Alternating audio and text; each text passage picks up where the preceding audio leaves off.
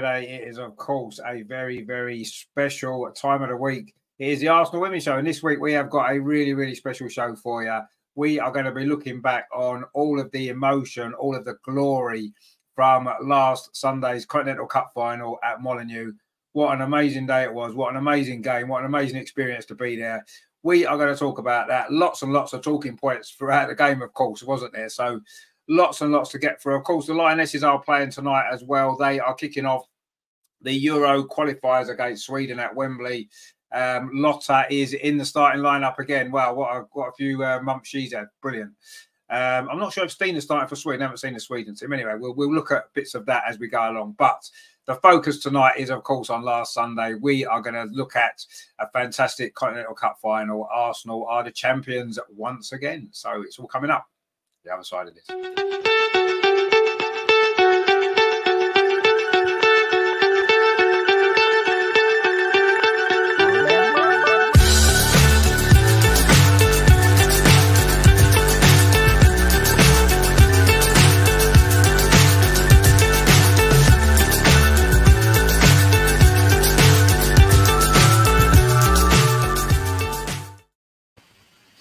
Of course, we couldn't celebrate a Continental Cup final without Andreas and Amar with us, could we? How could we possibly do that to you? Um, Andreas, of course, good to see you. Last time I saw you, it was outside the Jack Hayward statue, wasn't it, after the game on Sunday? Did you get home all right? What was the coach turn you like back? It must have been great, mustn't it? Yeah, trip was great. Uh, yeah, the trip to Wolverhampton and the trip back yeah, was fantastic. Fantastic weekend.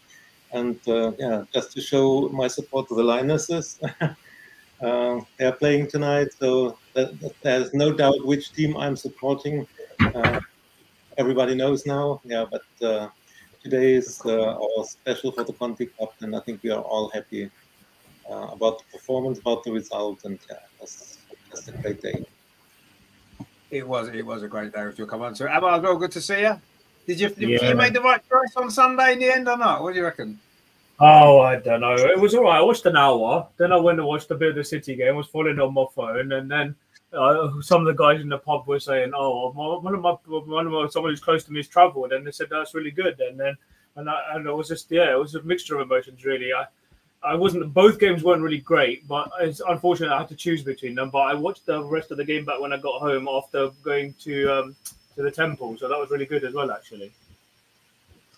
Yeah, I mean, it, I mean, I, I, thought it was a good game actually. Uh, intense game, I, I, think I would call it. I mean, it wasn't the most goal mouth exciting game. No, it wasn't. No. It was never probably going to be, but it was very, very intense.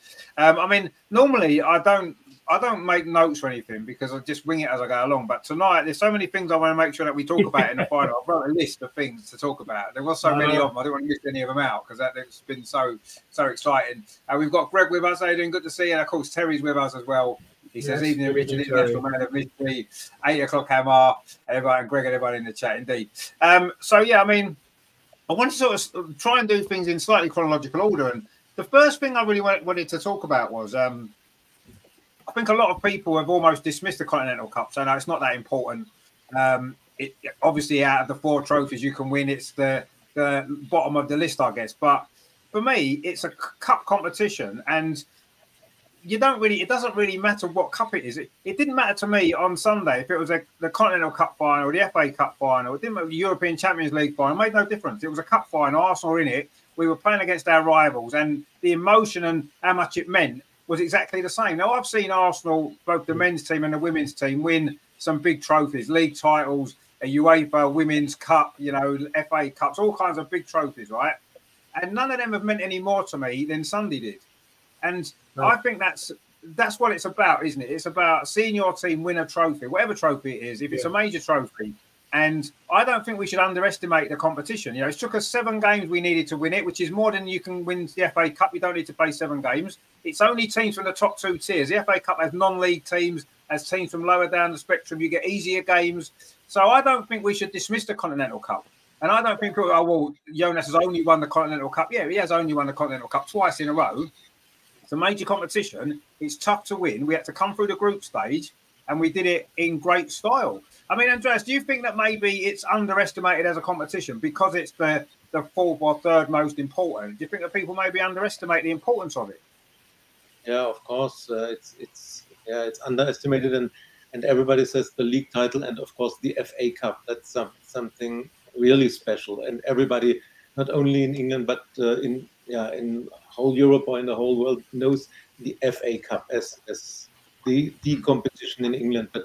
Uh, the Continental Cup, as you said, uh, it's only the teams from the top two tiers, and uh, this season we had to go the hard way through uh, the group stage. It's different than last season when we entered uh, in in quarterfinals when we were yeah, automatically uh, put through the group stage.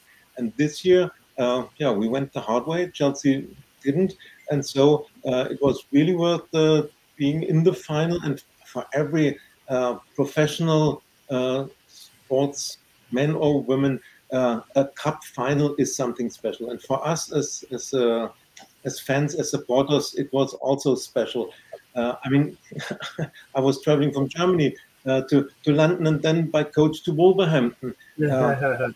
Uh, you don't do this for for for a cup that's worth nothing. It's it was a cup final, and uh, yeah, I can say for me, I was excited the day before, and and of course on on match day I was very excited. I, I didn't want to lose this final, and uh, you could see from from both teams that they went on the pitch to win. It was nobody was was there on the pitch and, and saying, ah, it, it's only the Conti Cup. Uh, yeah, let let them win the Conti Cup. We will win the important time. No, it was a cup final, and everybody wanted to win. It was it was a very intense match, and I think it was a good match. Uh, that's what what happens when two top teams uh, mm. meet. Uh, it's uh, it's normally not not that they produce chances all over. So uh, it's it was uh, two top teams on top level, and I think so. Um, after the 60s, 70s minute, I thought now it's it's an open match. They're, they are they're trying everything and and not only thinking on defending. So it was very open. chances created. It was really great chances created, and, and yeah, it was a great match. And in the end, I think the better team has deservedly yeah. won the match. Oh, uh, yeah. Chelsea was but we were the better team over uh, most most times of the match, and so uh, we deserved to win. And yeah, it was just fantastic. And two weeks ago, uh, yeah, we, we played so bad, and it was was such a big gap between these two teams. And now uh, we were eye to eye with yeah equal two equal teams with equal quality and we had the better and we deserved to have the better and just fantastic and the emotions were great. And yeah, I don't know who who saw uh, your match day vlog uh, and and heard me singing North London Forever. That's that's on the coach and yeah, the emotions are just fantastic. it, it, was, it was, and I, I say I, I, it, to me, it doesn't matter which what the competition is. A cup final is a cup final, and to see your team win the win the cup in that way it was was fantastic. And I agree, it, it was a very intense game actually. Right from the start, it was really intense. Yeah. And I kind of said before, and I, I, wasn't expecting there to be lots of goals like there has been in the two league games. I knew it was going to be tighter. I knew both teams weren't going to take the risks that maybe they took in the previous games. I knew it was going to be a tight game, and I was just, um, yeah, I, I I never ever underestimated the competition at all. You know, it's every season. I mean, Greg's made a great point in the chat there. He says only three domestic trophies, and we've got one exactly, and that's the second season in a row we've got one of those three. Mm. And you can't ask for much more than that. Let's be honest. It's greedy to think you can win two or three of them. You know, I mean, Chelsea might still do, but it's kind of greedy to expect that, isn't it? To, to get one out of the three every season is a good season, and there's a great effort. And for us to have won that cup, I, I think, especially who we beat in the final, you know, it's not like we played um, one of the lesser teams. We, we played the, the, the, league champions. You know, we played the, the top team in the in the country, one of the top teams in Europe, and we beat them in extra time. So, yeah, I don't think we should ever ever underestimate any competition, and any any victory in a competition is is worthwhile. And by the way, Stina is starting for Sweden, which is great. Yes, I saw that. I saw um, that. Yes, I saw that. Just seen him in the lineup, which is good. Yeah. Um, I mean, Amar, do you think that it is maybe underestimated as a competition because because of the, maybe the group stage at the beginning, people think maybe it's not a serious knockout competition straight away, but it is the top two divisions only in it. It's a it's a tough. If you've got to play the group stage, it makes it tough, doesn't it, to go all the way as we did.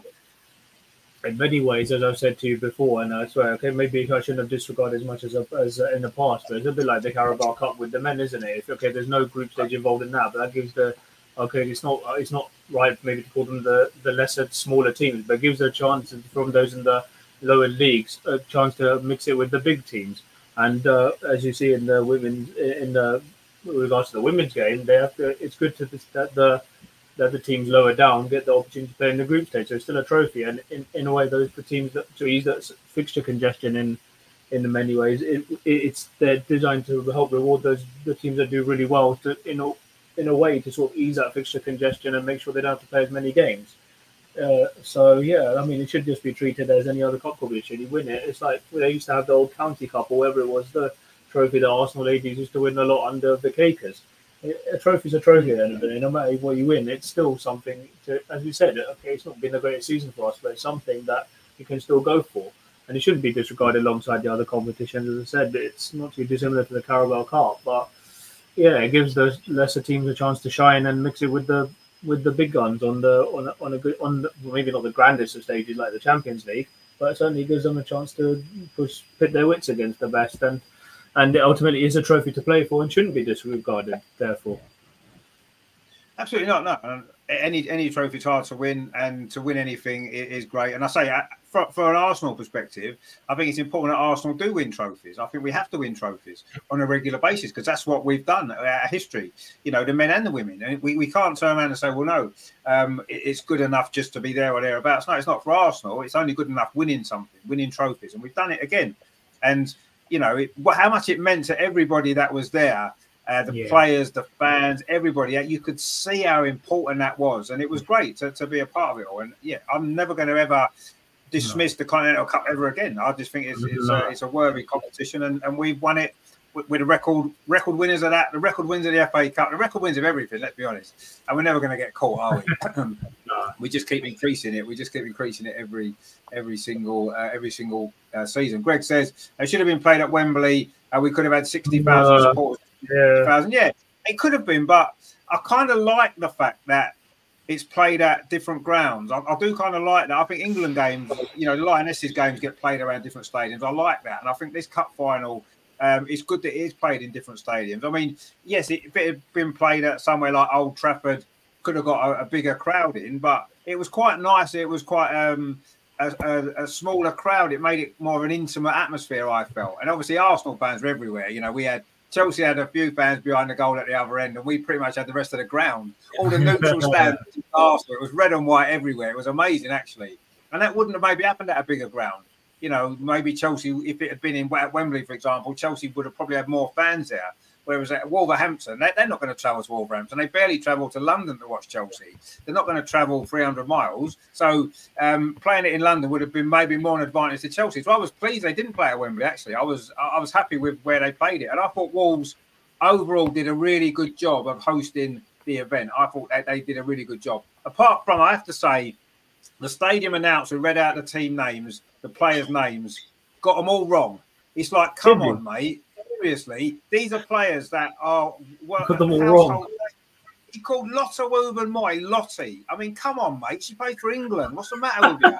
I was impressed for him. And it was someone put a comment on the blog because I mentioned it, and someone said about it was disrespectful. And it's right, it was disrespectful. disrespectful if you can't learn 22 players' names, how to say them, I mean, you got Stina Blackstenius' name he made a right meal of that about four times until he finally got it right after she scored at the end. I mean, it was honestly, it was it was mental. He got most of the Chelsea players right, funnily enough, and some of them had more complicated names. And the Arsenal players generally have got more easier names to say. He messed them all. Even the I say even Lotte Wubben-Moy, he called her Lottie. Come on. I mean, ridiculous. How did, I, how did you say Rytting Kaneryd? How did you say how did you say Rytting Kaneryd? Yeah, then well, he actually said oh, yeah. the Chelsea players he pretty much got right. It was the Arsenal players he struggled with. and I'm like, what are you doing?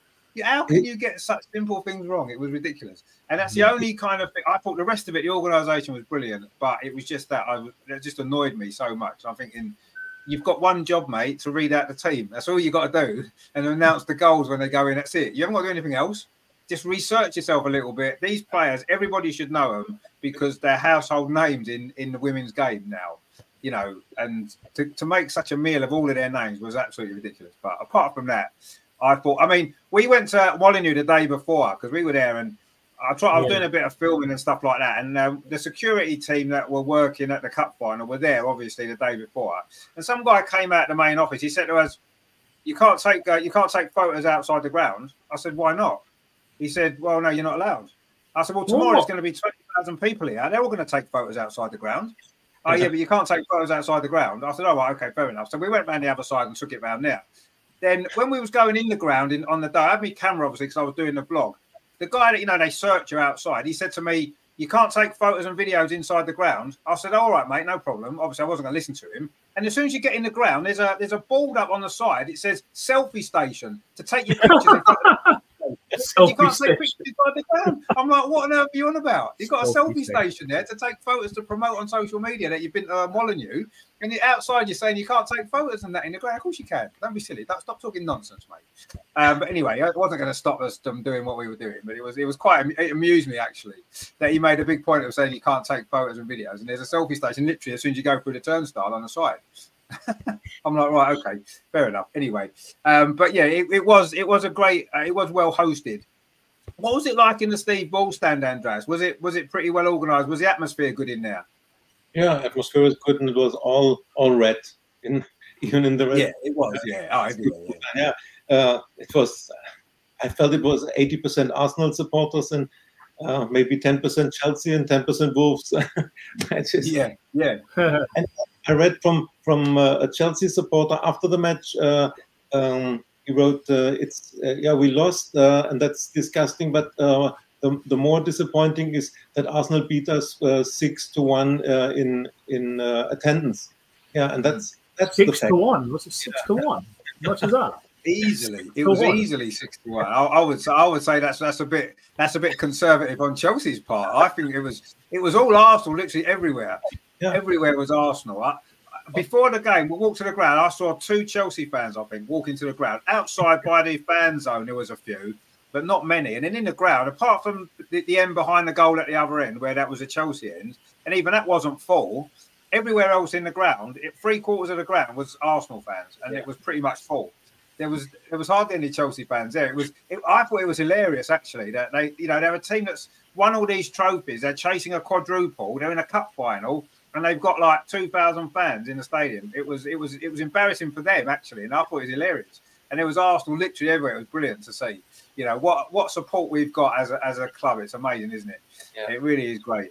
And um, yeah, we did it again um, on Sunday. Yeah, but it was it was great. The atmosphere was was brilliant. I thought right from the before the game, outside, inside, everything was was fantastic, wasn't it? Um, now, of course, the game itself, the, the team lineup. What what what did we make of that starting eleven? Because I was. It wasn't far off what we'd said, actually, was it? In the preview, Andreas, the, teams that we predicted wasn't much different, really. And I was quite surprised in a sense. We didn't know until afterwards that Alessia Russo hadn't been well for a couple of days, and that's Yeah. why she didn't start. I was just mm. interested to think if she had been 100% fit, do you think she would have started and maybe Stina wouldn't have been there to score the goal? Or, or do you think he would have took Stina off at nil nil and brought Leslie on earlier? I mean, Andres, do you think that could have happened if she was fit? Because or was this the team he was always going to start anyway?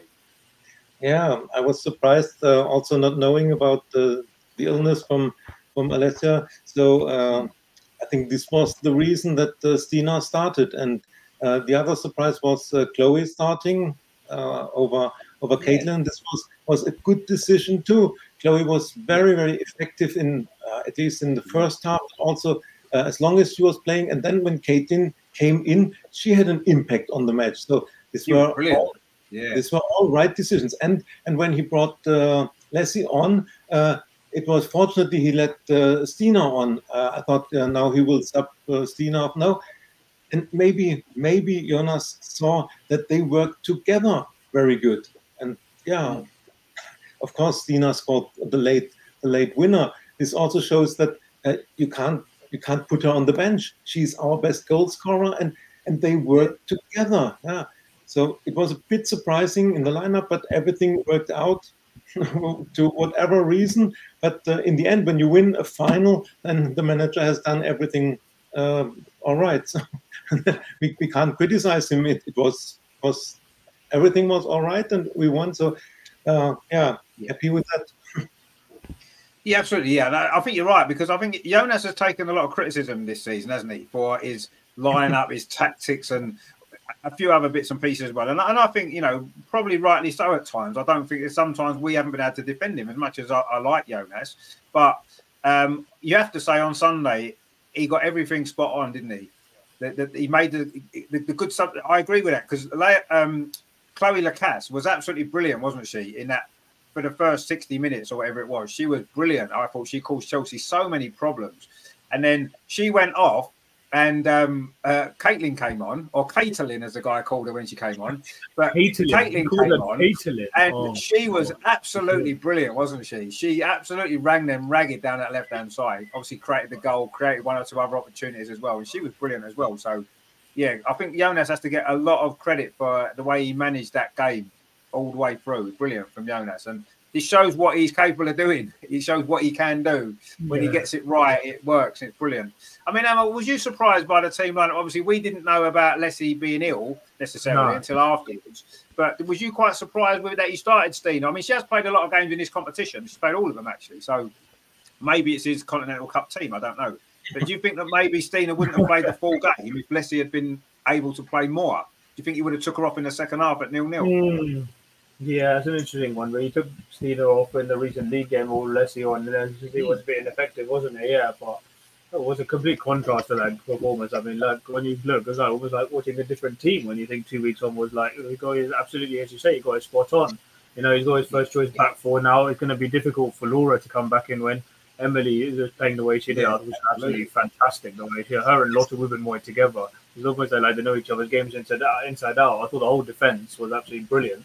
And now going yeah. to that also, also when Codina came on, she had probably her best game in the Arsenal shirt as well. And the stats only suggest yeah, limit them to just three shots on target in a whole 120 minutes when they had probably about 10 times that during the game at Stamford Bridge. That was that was really good to see. And you know, we had the better, better chances. But going back to your point on Leslie, if she had been fit, I don't know. I don't know if she had would have played. I would, everyone says that we would love to see them together. But it, uh, if when they're fit and fully firing, I think they can make for a really good partnership. But it's good to have the option off the bench, and they still they, they still look pretty good when they did come on together. But um, mm. yeah, no, I think he did get the tactics spot on. Manu did really well. Let's just have a look. Yeah, and uh, yeah. Uh, when Lacasse came off to who else came off here? Kyra, uh, yeah, he used the the Australians pretty well as well. So I'm just looking back at the lineup now. Yeah, they were, he, he, he got the best out of them, didn't he? You could see. Um, yeah, yeah, absolutely. I'm just lo- lo- losing my train of thought a bit, but no, with um, yeah, I don't know whether she would have played had she been fit, but um, when if um, sorry, what was I going to say? Yeah, we only found out after the game, didn't we? We only found out after the game that she had been unwell. Yeah, and even then yeah. she looked good when she came on. So yeah, I think he got his spot on, and yeah, he really stifled Chelsea, limited them to only the really the only really attempt you can say they came close to scoring was that Lauren James effort in the second half. So I thought he did really well, and he got the he got it tactically compared to the game at Stamford Bridge, he got it tactically spot on. Yeah, and I mean, you know, when, when you get one game so badly wrong as he did that one, you learn from that, and next time you put it right, and he did. And there's just been an injury to Alessia Russo actually in the England game. Oh, no. uh, a bit of a late tackle on her. She, there was blood on her ankle. She's just getting sort of sorted yeah, out now on the five, which is a bit of a worry. I think she's going to be okay to carry on, but it was a bit of a late challenge on her actually. Um, and um, Lotte Wubben-Moy had a great tackle very early in the game actually as well on Stina, funnily enough, in a penalty yeah. and stopped Sweden scoring. So you know uh, she's had a great start to the game, and I say Leslie's got this injury. She's still off the pitch at the minute, but hopefully she'll be okay. It looked like she just got a, I think there was blood on her ankle from like the challenge just before, but um, anyway, I'm sure she's going to be okay. Let's hope so. Uh, Terry says, I'm not one to say I told you so, but how crap again was LJ Havertz? Uh, well done, Stop calling that LJ Havertz, She's not. Yeah, I mean, taking, she, she was really quiet, wasn't she? Really, she didn't have any impact at all, um, LJ, but uh, which is quite good, obviously. Um, Terry says, to be fair, I did feel sorry for the 52 salty fans traveling all that way. Yeah, there was about 52, 52 of them as well. 52. Yeah. There might have been 60 maybe. I didn't count them all, but it wasn't many. 52. Um, Anna Hannah says uh, Codina smashed LJ again. She certainly did. Yeah, she's definitely yeah, got a better over there, but no doubt about it. Um, Greg says there, uh, Pelova got player of the match. I thought Fox was the best player on the pitch. I mean, Ooh, the good thing was, the good thing was there were so many Arsenal players that could have got player of the match in that game. I mean, I, I picked out Vicky very, very early on in the second half of that game. She was outstanding. She absolutely bossed that midfield. She was kicking um, Erin Cuthbert all over the place, and she just won the ball every single time. We gave the ball away. She won it back every single time. She was brilliant, Vicky Pelova. And I, I can't, I don't feel bad that she got of the match. She deserved it because she was excellent. But you're right. Emily Fox was fantastic. Lotte was absolutely amazing again. Yeah, they were. What a performance from Lotte. You have to say that was incredible yeah. from her. Brilliant from start to finish. Uh, she absolutely pocketed that. Um, uh, the one who scored the goal that was disallowed. I can't remember her name now. Ramirez. Is Mayra, Mayra Ramirez. Yeah, Mayra Ramirez. Yeah, she absolutely pocketed her all game. Just absolutely brilliant. And yeah, there was several outstanding performances from Arsenal. But we, guess what you need to do when you're going to beat a team like Chelsea in a cup final? You've got to. Everyone's got to step up, and they did. Every single player stepped up in that game, and they were all brilliant. Manu Zinsberger, what a save she made at the end from uh, yeah, yeah, from, uh, from LJ to, to keep it nil nil. So every single player played a part, a, a big part in that game as well. And um, yeah, Emily Fox was fantastic. Yes, she was absolutely. But I don't think we can we can't say that Vicky didn't deserve playing a match. Andreas, do you agree? Do you think she? I mean, Vicky was absolutely amazing, wasn't she? What a performance from her! She was everywhere. Yeah, yeah. Vicky was great, and Emily Fox was fantastic. Uh, if I had to decide, for me, it was Lotte because, uh, yeah, was uh, I, was, I was really concerned seeing uh, a player like Mayra Ramirez with with her physicality, and uh, yeah, I, I saw uh, a few WSL matches when uh, when Ramirez was uh, starting for Chelsea. With her physicality, she's very, very difficult to defend. And uh, except this this goal she scored after the handball from from Cuthbert, uh, except this situation, uh, I think uh, Lotte pocketed her over the whole the whole time Ramirez was on the pitch. It was a fantastic match from Lotte. in, in defense, her, her opening long passes, yeah, it was yeah, she was absolutely great. And for me, she was the player of the match. But um, yeah, also Emily or Vicky were great. And and uh, I have to say, uh, I was concerned at halftime when I heard uh, Clear had to be substituted, uh, mm. and uh, Codina came on. She had he had a few difficult matches um, when when when she came. Yeah. Last summer, but uh, in the last weeks she was go, uh, going better, and uh, I think the, on, on, Sunday was Laia's best match for the Arsenal so far. Yeah, uh, she absolutely. was yeah, she fitted in defense uh, perfectly. It was no difference to to Leah Williamson, no. Leah Codina. Yeah, absolutely great, and her understanding, her partnership with Lotte was just perfect. And uh, another point where I have to say Jonas did everything right. If there was a small a small issue or problem for for Leah to take her out was the best decision. And yeah. when you bring in uh, a player like Laia who fits in from, from the first moment uh, and plays so good, then everything everything right. And for, for her self confidence, Laia Codina's self confidence, it, it was fantastic to have such an uh, such a good performance in such an important match. I think uh, she will. This will bring her two, three steps forward uh, in her time for Arsenal. Yeah, you could choose a lot of players as player of the match. Of course, Dina with with scoring the goal, uh, but uh, yeah, for me it was Lotte, and uh, I'm I'm really happy for her that that she's uh, starting the Lionesses today. I hope she she's doing as good as she does for us. Yeah.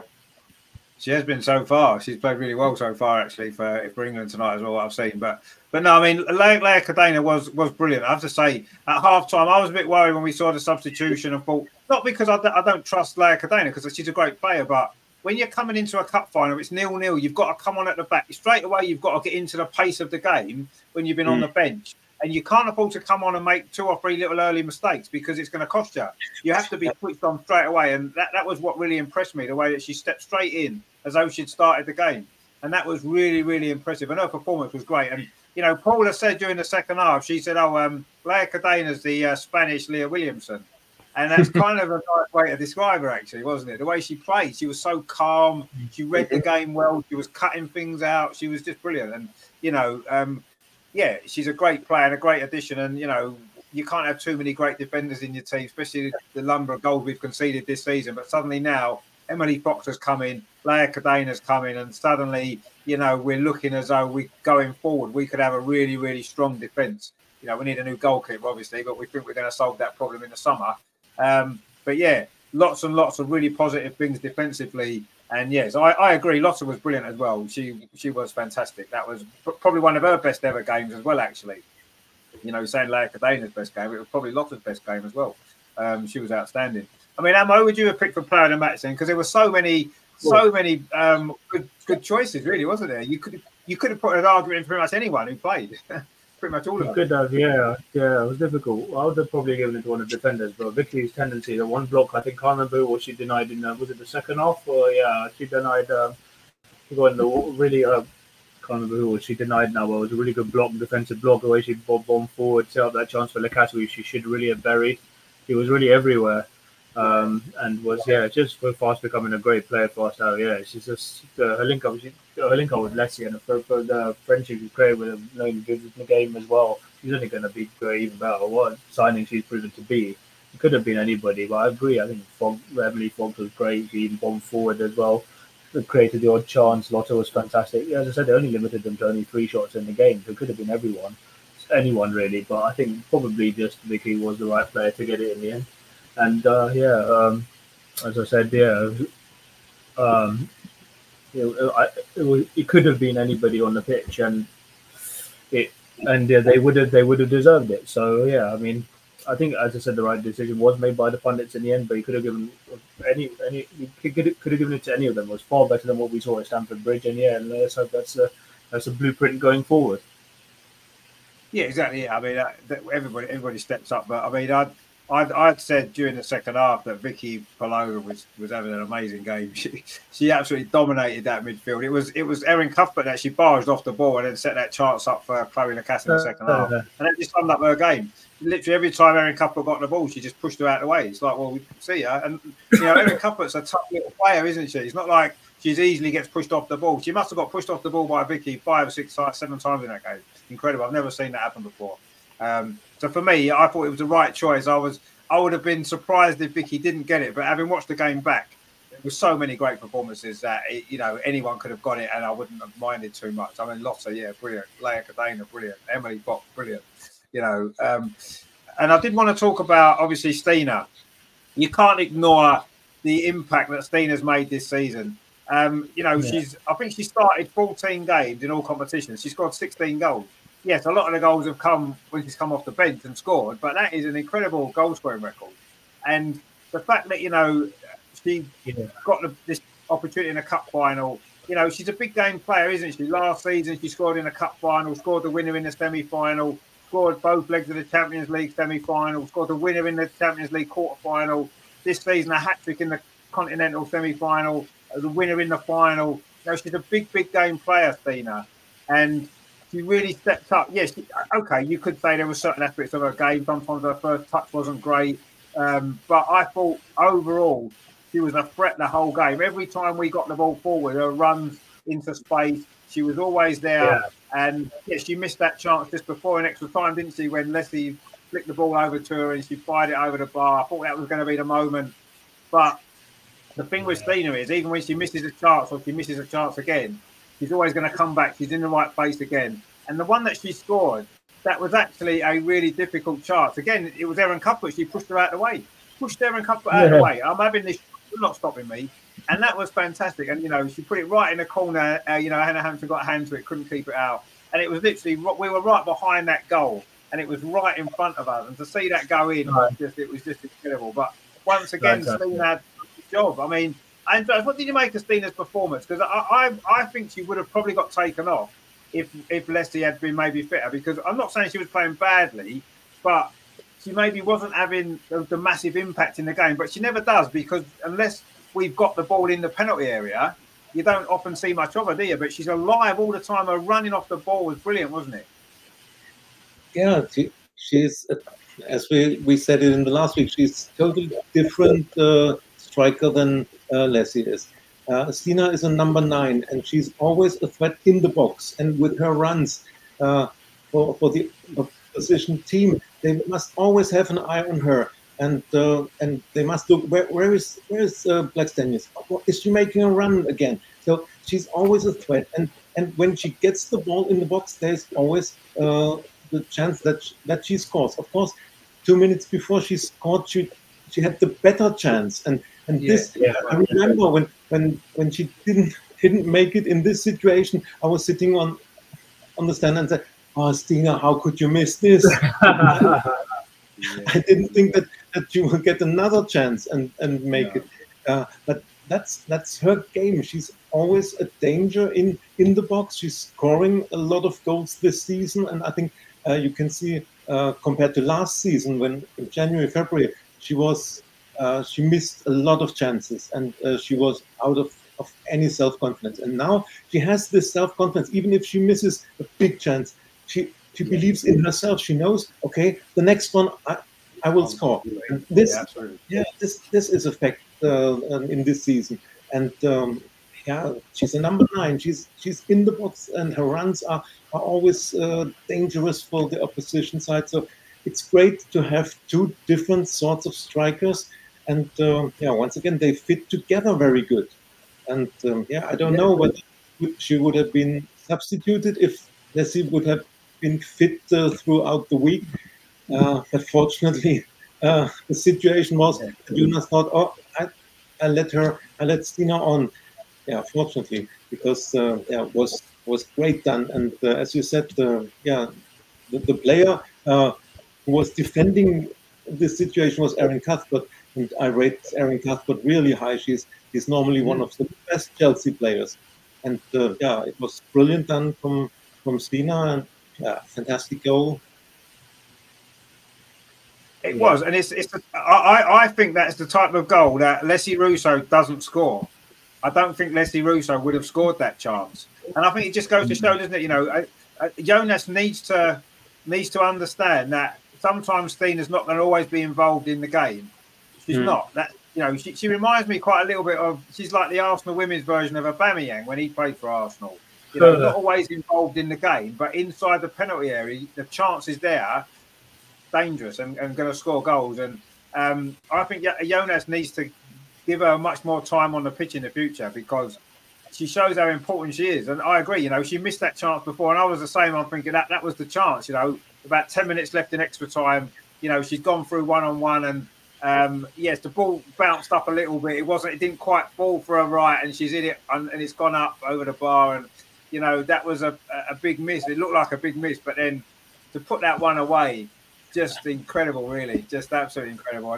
Right? I mean, you know, I, I love Stina, and you know, the fact that it was right in front of where we were as well, it was almost like I felt she scored it for me. That's what she did. She scored that goal for me. That was she definitely scored it.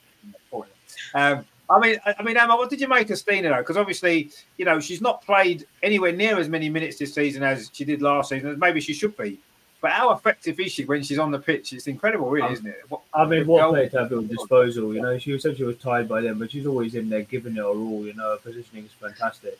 And yeah, how many? I just, just how many important goals has she scored for us and since she signed? Exactly. It's incredible. Exactly. I go back to the first time I saw her debut. I was there when we played Manchester United a couple of seasons ago, and she came off the bench, and Viv played that absolute worldy ball to her. She finished it off. Yeah. Ever since yeah. then, she's like Champions League sem- quarter final last season, Champions League semi final, Conti Cup semi final, Conti Cup final this year, Conti hat trick in the semi final, final. So it was a fantastic player to have at her disposal. And it would have easy, been easy for her after missing that chance. I thought, oh no, you played, oh, just slide rule it, and Hampton's not going to get it. Ah, but she could have gone, she could have turned her hair out, but he just knew just all she had to do was slide with it, but it could easily uh, let it affect her. But you know, no, she could next chance. Um, wonderful work from the Aussies down the left hand side. That was a wonderful build up, and then once the broke, ball broke to her, you knew somehow she was going to finish. Yeah, Hanny, people say Hanny Hampton was to do better or could have done better, but she the way the way she finished off cool and calm, there was only ever going to be one outcome. And to send the Arsenal fans behind the delirious, well, it must have been fantastic for you guys watching. I can't imagine the feeling what it was like. I tell you, when I was watching the game between the Man City and Arsenal. And I got four minutes ago, I thought I got a notification on my phone. Oh no, I thought I actually thought Chelsea had scored. No, no joke. I actually thought Chelsea had scored. I thought when it said Black Chelsea, oh, yes. And then the re- release of emotion was just unbelievable. And in the pub when I was watching, and yeah, one of the guys who was there watching the Man City game with me said one of his friends or something had actually gone to watch the games, which was really good to know. And Dad was saying, "Oh, he's a really passionate follower of women's football," so it was really good. And uh, yeah, no, what a player to have. I think I think I think she should change. We should change the name, not you shouldn't be called Blackstenius anymore, but maybe she should call her Goldstenius because of all the golden goals she scored for us. Or something. Anyway, yeah, she was called, Oh, yeah, yeah, maybe that's no, what she she did. called she called her Goldstenius from now on or something like that. But anyway, no, she's a So- so fantastic talking- player. And, uh, Talking of Well- Arsenal strikers, Leslie Russo's just scored for England, by the way, and it was LJ that set her up with a cross. So um, that that will that will keep Terry quiet for a bit, won't it? It was LJ's cross from the right hand side, she- and Leslie To be- came in diving header from close range, one 0 to England, which is great. Obviously, Euro qualified this is so. yeah, Yeah, she had good to be. Yeah, sorry, go on. Sorry. I was going to say, good assist from LJ as well. Lovely little cross into the box as well. I know we, we don't Yeah, like him be- did well. She had to be strapped up because there was a lot of blood. But yeah, no, that was good to see. And uh, yeah, some interesting other scorelines. I don't know if Andreas is injured, but it's currently Austria two, Germany one. Yeah, yeah, I know. Sorry, swallowing. Sorry. Wow. Clara Sorry. Incredible, yeah. that, yeah. And Still, then, still you early days. Still early Yeah, days. I mean, no, we've got but a I few can't imagine. I was saying, going, going back to that point, I can't imagine what the feeling must have been when you saw that. And all Arsenal, there was no way back for Chelsea after, and we thoroughly deserved to win that game in the end. And uh, I'm so happy for it. And you could see, okay, we'll maybe come on to the point later in the show, but you know, there was there was only one person that goal was for. Absolutely, yeah. You, you could see how much it meant to everybody, and, and I think that was part of it as well. Terry says obviously Russo one 0 Greg Russo's just scored a great header. It was a great header. Uh, Jimmy says there, nice. It was it was a good cross. Yeah. Jimmy also said there Chelsea looked tired and Arsenal was always first. And Well, yeah, maybe Chelsea did look tired, but uh, I don't care to be honest. They can be as tired as they like. We we beat them and fair and square, and that's it. Uh, there you go. Terry says Havertz missed it across. Russo made it look good. well, Russo made it look good, but it was a good cross. adverts, man. It was a good cross. I still don't like her. I don't like. I don't like LJ. I don't like her demeanour. I don't like her attitude. But that was a decent Yeah. cross, and England have scored, and that's all that matters. Um, and of course, Le- Leslie scored as well, which is great. So, um, but yeah, no. But going back, obviously, to the important issue, which was, of course, last Sunday's cup final. Um, yeah, it, it was. It was a great moment when the goal went in. It was almost like. I mean, I've seen. Obviously, we were stat. We were behind that goal. That's where our tickets were. Yeah. So we couldn't really see what that end looked like because we were there. But looking, I've seen obviously videos, I've seen photos, and it was just red and white, wasn't it? That whole stand behind the goal just looked completely red and white, and it must have been amazing for the players attacking that goal. And it was almost like it looked like maybe the fans had sucked that ball into the net. You know, we were just so desperate for to score, and that's probably what happened a little bit, maybe. But no, it was incredible when the goal went in. Everyone was going mental. It was it was absolutely brilliant, and it was one of the best like goal celebrations I can remember ever. That's you know from years of watching the men's team as well, win all them trophies. It was such a great moment. Um, and yeah, it was it was fantastic. Of course, um, you know we, we briefly touched on it. Then we can't um, we can't not discuss it. Of course, the the massive massive shock of what happened to Yeah. Frida. I mean, Uh, it it was Oh. literally one of the Oh. one of the worst things I've ever seen in my life. Honestly, to see No, one of your players go down like that, and I actually saw it happen as well. I know it, it wasn't on the ball, but I'd noticed just before. Uh, I think she'd made a run forward and we'd lost the ball, and the, Chelsea had cleared the ball away, and she'd kind of stood still. And Frida doesn't generally stand still, does she? We lose the ball and she'll be running back, and she stood still. And I'm thinking, why is she standing still? And then, of course, seconds later, she just fell down, collapsed, and it was like, wow, it was it was um, unbelievable. Honestly, I mean, I've never ever seen anything like that happen before. And, and when you, I mean, it'd be it'd be bad enough no matter who it was, but the fact it's it's you know one of our players that Yeah. you just suddenly saw, and it was it was just shock. Literally, I, I've never I've never known anything like it before. It was horrible. It was horrible to see. It was. Um, you know, obviously straight away you knew it was bad, and you know the medical teams got on as quick as I thought. Maybe they were a little bit slow reacting, maybe to, to get the stretcher on and whatever, and get the defibrillator on and stuff like that. It seemed to take longer than it maybe should have done. I don't know. It felt like that at the time, but um, Yeah. it was absolutely shocking, wasn't it? I mean, I know Andreas, you you didn't realise what had happened, did you, at the time? No, I, uh, I was not looking at her because it was uh, it happened uh, not not with the ball. It was Yeah, yeah, off the it ball, was, yeah. uh, Right. was away from the ball, and uh, I only saw uh, one of our players suddenly lying there, and and uh, I think Katie was running to her, and then uh, two medicals uh, came on the pitch, and the first uh, they made uh, immediately the sign for changing, and I thought it's it must be a serious injury, and uh, we, we were discussing uh, who who is it, and someone said it's it's confirmed it's Frida, but uh, nobody, yeah, we were too far away uh, from, Yeah. from the place uh, to where it happened. Nobody saw that it was was a collapse, and uh, yeah, I thought it's it's a serious injury. Uh, I remember the the situation in in Champions League when when Laura Wienroither was injured. It it looked similar to me. Uh, Yeah. This long time of uh, of treatment on the pitch. I thought, oh, not another ACL. But uh, yeah, you told me after the match that she collapsed, and fortunately, I didn't saw it in that moment because it must have been uh, threatening to see this. Or Yeah. Yeah. so Horrible. yeah, Horrible. let's just let's just be happy that that um, yeah the, the, the examination and tests uh, said that it's no cardiac issue or No, maybe, it was really- maybe uh, it's nothing serious. Yeah, but uh, yeah, you don't know. And uh, I think all the players were shocked. I read after the match that. Um, uh, before the extra time started, uh, Jonas could tell the, the girls that uh, Frida is awake again. Because she, yeah, she that really cool. asked when Yeah. and uh, he said she's awake again and let's let's just do what we can influence. We can't help her right now. We can only influence our match and and uh, get the win for her. And um Guro Reiten, uh, who is also a Norwegian international a team colleague from her uh, she said afterwards uh, that she was so shocked and nobody told them what had happened. When when extra time started she asked the Arsenal players do, do you know anything about Frida so this shows uh, how Wow. concerned everybody was, and Yes. yeah, and uh, Guro said, uh, "Yeah, we lost, we lost the cup final, but uh, the more it counts that uh, that my friend Frida is Oh, yeah. good." So yeah, I think this this says enough. It was yeah dramatic, and uh, yeah, fortunately, I didn't realize at that moment. Oh, Yeah. I mean, it, it, it, well, I mean, the game, obviously, it was right at the end of the 90 minutes, wasn't it? When it was in stoppage time at the end of 90 minutes. And, you know, Yeah. almost, and I know, obviously, look, looking back now, obviously, with what happened in extra time and winning the game and stuff like that, but at the time, I didn't want the game to carry on. I just No. couldn't, I couldn't focus on the football after that. You know, seeing that happen, and yes, okay, yeah, we, we didn't know at the time in the ground what was going on, how, you know, that she was actually okay. You just see her getting led off on the stretcher. You're thinking, oh my God, that is not great. That is not good at all.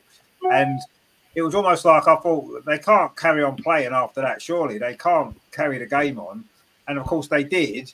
And obviously, once once the game gets going again, you get back into it again, and you don't forget what's happened, but you kind of you can focus more on what's happening on the pitch, I suppose. That's what the, the, players did. You have to say they deserve a lot of credit for that because it must have been really, really difficult to see your teammate go through what she was going through on the pitch and then you've got to carry on and try to win the game. I mean, the fact that they did that and what they gave in extra time, and I do think that you know it's been mentioned that Chelsea were tired. Yes, maybe they were, but in extra time, you could see we had one extra little bit of motivation that they didn't have, and that was to win that game for Frida. Yeah, to win it for themselves and win it for the fans, everything else as well. But that would have been the overriding thing at that moment, wasn't it? We're going to win this for Frida, and I bet that was said in extra time. I bet the players said that we're going to go out and win this for Frida. And you could see that they wanted in extra time. We were the miles better team, and we fully deserved to win that game in extra time. Yeah. and I think that was one of the reasons why. And yeah, it, it was it was horrible. It was a horrible thing. I, I can't get it out of my head actually. All week it's been I can't actually get it out of my head seeing that happen. No, it's not easy to do. No. yourself, I actually obviously I, your initial feelings are it's a lot worse than the ways it's turned out to be. Thankfully, you know you fear the worst when you see it. It's like oh my god, that was that was horrible. Um, but luckily, it seems as though it's not it's not going to be any long term damage, and she's going to be No. okay. And let's hope she can get back and play football again because that's what we all want to see, isn't it? As Greg says there, and let's hope her recovery is swift and hopefully she comes back strong. Yeah, exactly. That's you know she's in the she's in the right place. She's been looked after, and I'm sure they'll make the right decisions going forward on when and if she can play again and what the what the issues were and all this kind of stuff. But yeah, I mean, what was it like on the telly though? Emma? Did they make a lot of it on the telly? Because I didn't see the game live. Was they did they make a lot of it or not really, or did they try not to focus No. on? Because I know it's something you don't really focus too much on on the telly, do you really? No, I can't imagine. I was going to say, I can't imagine what it must have been like the ground and sud- the shock of it happening and suddenness. And yeah, I think in the, the crowd when they must have realised it must have been just nothing but shock and hopefully that she's okay. I mean, I've not seen that happen in a while. It reminds me a bit of the situation early in the season. I don't know if you recall when Tom Lockyer collapsed on the pitch for Luton against Bournemouth and they had to abandon the game there. Yeah, yeah, Yeah, but yeah, I remember that as well. It's terrible that these things happen, but thankfully she's okay now. They released a statement uh, uh, early in the week saying, yeah, it was nothing cardiac related, that she's doing a few tests, but it was only right for her not to play for Norway. She needs a bit of rest now. Hopefully she'll get fit and healthy. But no, there was definite concern on the TV. Robyn Cowen and Rachel Brown Finnis, who were doing the commentary, they said, yeah, the game has been stopped. Here, There was definite concern in their voice in somber, and even in the pundits, who was doing it was Alex Scott, um, Ellen White, Fara Williams, and Anita Asante. There was definite concern on their um, voices as well. And even in the highlights package the, in the evening, they said, "Yeah, we all hope that she's okay." The Irish presenter, whose name I forget, Sarah, Sarah. She was with Gilly Flaherty and and uh, Kerys Harrop in the studio. They're all very concerned and think, thankfully. And when they when news had come through in extra time that she was okay, Rachel goes in the commentary box. Oh, that's the best news that I wanted to hear. So no, there was definitely concern in their voice. It was good to see, and uh, must have just been a shock of what happened. And to go through that is not very nice. We thank thank goodness she's okay. And uh, yeah, as I said, uh, Stina even knows uh, we know the relationship between her and Frida, and they're they're like besties. And it was good that she was able to score that goal and do it for Frida. Yeah, and you saw the tw- I don't know if you saw the Twitter page after the game, but no, there was definitely a lot of um, a lot of uh, Yeah. good feeling towards Frida, and the fact she got um, better. So no, there was definitely a concern, and it was horrible to watch. I mean, what's that? I was following on my phone as well. I was like, what's going on here? I said, oh no, but thankfully she's okay now, and yeah, we just wish all the best. And you never want to go through that as a player again. I know, uh, I think it motivated the team even more, but the fact uh, after what happened, but um, it's not nice to see. And hopefully, yeah, um, hopefully she'll um, she'll be uh, fully recovered and able to play again soon. Let's hope so. Yeah, I mean, we don't know exactly what's going on, but yeah, I mean, Stina was very quickly on the scene as well. She sprinted across actually when she saw it. Uh, She was one of the first ones there as well. You know, obviously they're best friends as well. So, um, but yeah, it, it was the atmosphere in the ground. It was like just silent, wasn't it? It was just you know completely silent for like five five minutes. And when you know you're in a cup final at the end of extra time and it's completely silent, you, it's it's quite an eerie kind of atmosphere to Yeah. be to be. Actually, it was it was really really shocking. Um, Greg says what is worrying is she's only 24, very fit. Arsenal only have an update about her yesterday. I mean, to be fair, maybe you know she's been having tests, hasn't she? And I suppose what they don't want to do is release a statement before they know all the full facts that they that they need. And I think I, I wasn't surprised it took them a long while to give an update, really, because she would have needed tests, wouldn't she? You know, when you're clapped on a pitch, you're going to have to have lots of different tests for lots of different reasons. But they need to find out what's caused it and what they need to do to try and prevent it happening again. So I, I think they, they needed the time, and I wasn't surprised that it took them that long. And I, I still don't even think they really know now what's caused it by the sound of it. No, no, So it, it doesn't appear to be a, a long term sort of a, a long standing cardiac issue. Obviously, it must be some sort of cardiac issue to make her collapse on the pitch. But um, you know, let's hope the medical people get it get it sorted and they can make the decision on uh, future playing, um, whether it's this season or or not, whatever it whenever it is. We just have to you know keep keep everything crossed for her. And um, uh, to be honest with you, whether she plays football again or not, to me is a little bit irrelevant now. As long as she's okay and she can you know. Um, be healthy in her life. That's the most important thing, isn't it? If she can play football as well, that's a bonus, isn't it? Let's be honest. We'll be delighted to see her playing again. But Yeah, as long as she's absolutely. okay and uh, her health is more important than anything else, isn't it? Oh, that matters. Yeah, that's what matters. Yeah, yeah. exactly, yeah, it does. And if, if if she can, if we see her playing football again, brilliant because she's a she's a decent, great player. She had a great game actually as well until that moment. I thought she worked so hard. You know, she was everywhere. You know, and yeah, not not great. Um, Greg says, as Russo said after the game, it was fitting. Frida's best friend scored the winner. Yeah, I suppose it was really. Yeah, it, it was. It was a great moment, you know, for for Stina obviously anyway. But yeah, I think it meant a little bit more to everybody um, because because of that. And yeah, um, who better to score the goal, um, of course, than Stina? So yeah, it, it kind of was almost like the perfect finish, wasn't it? I suppose to the game really, that with everything that had happened um, and, and all, all that kind of stuff as well. Um, of course, after the game, um, while we were all celebrating and excited. Um, Oh. It came to light later on about some little incident with a certain Chelsea manager um, getting a little bit um, overly aggressive with our manager on the pitch, which um, she decided to blame him, of course. What would you expect? Anything else from Emma Hayes? Um, now, obviously, I, I didn't know that had happened at the time. I wasn't aware that had gone on because we were too busy celebrating the fact the game had finished and we'd won and everything else, and it was just great. But um, obviously, seeing it on the on the telly afterwards and seeing actually what Emma did, and whatever the reasons behind it, I don't think you can react like that and then no. in a press conference afterwards turn around and say that Jonas needs to look at his behaviour and male aggression. I'm thinking, on a minute, you pushed in. Look back at all of the incident before. Jonas at no point was aggressive. He made a point about the multi-ball thing to yeah. Erin Cuthbert that throw. He wasn't aggressive. He wasn't in her face. And what happened was Erin Cuthbert turned around and went towards him in a quite aggressive way. Yeah, that's what it seemed. Yeah look at her own behaviour, the behaviour of her own players before she starts throwing criticism at everybody else. And of course, on top of all that as well, the FA have made a complete bottle job of it by not charging her. Imagine if she'd pushed a female coach, they would have charged her 100%, right? If she'd pushed a female coach, they would have charged her. Why on earth aren't they charging her for pushing him?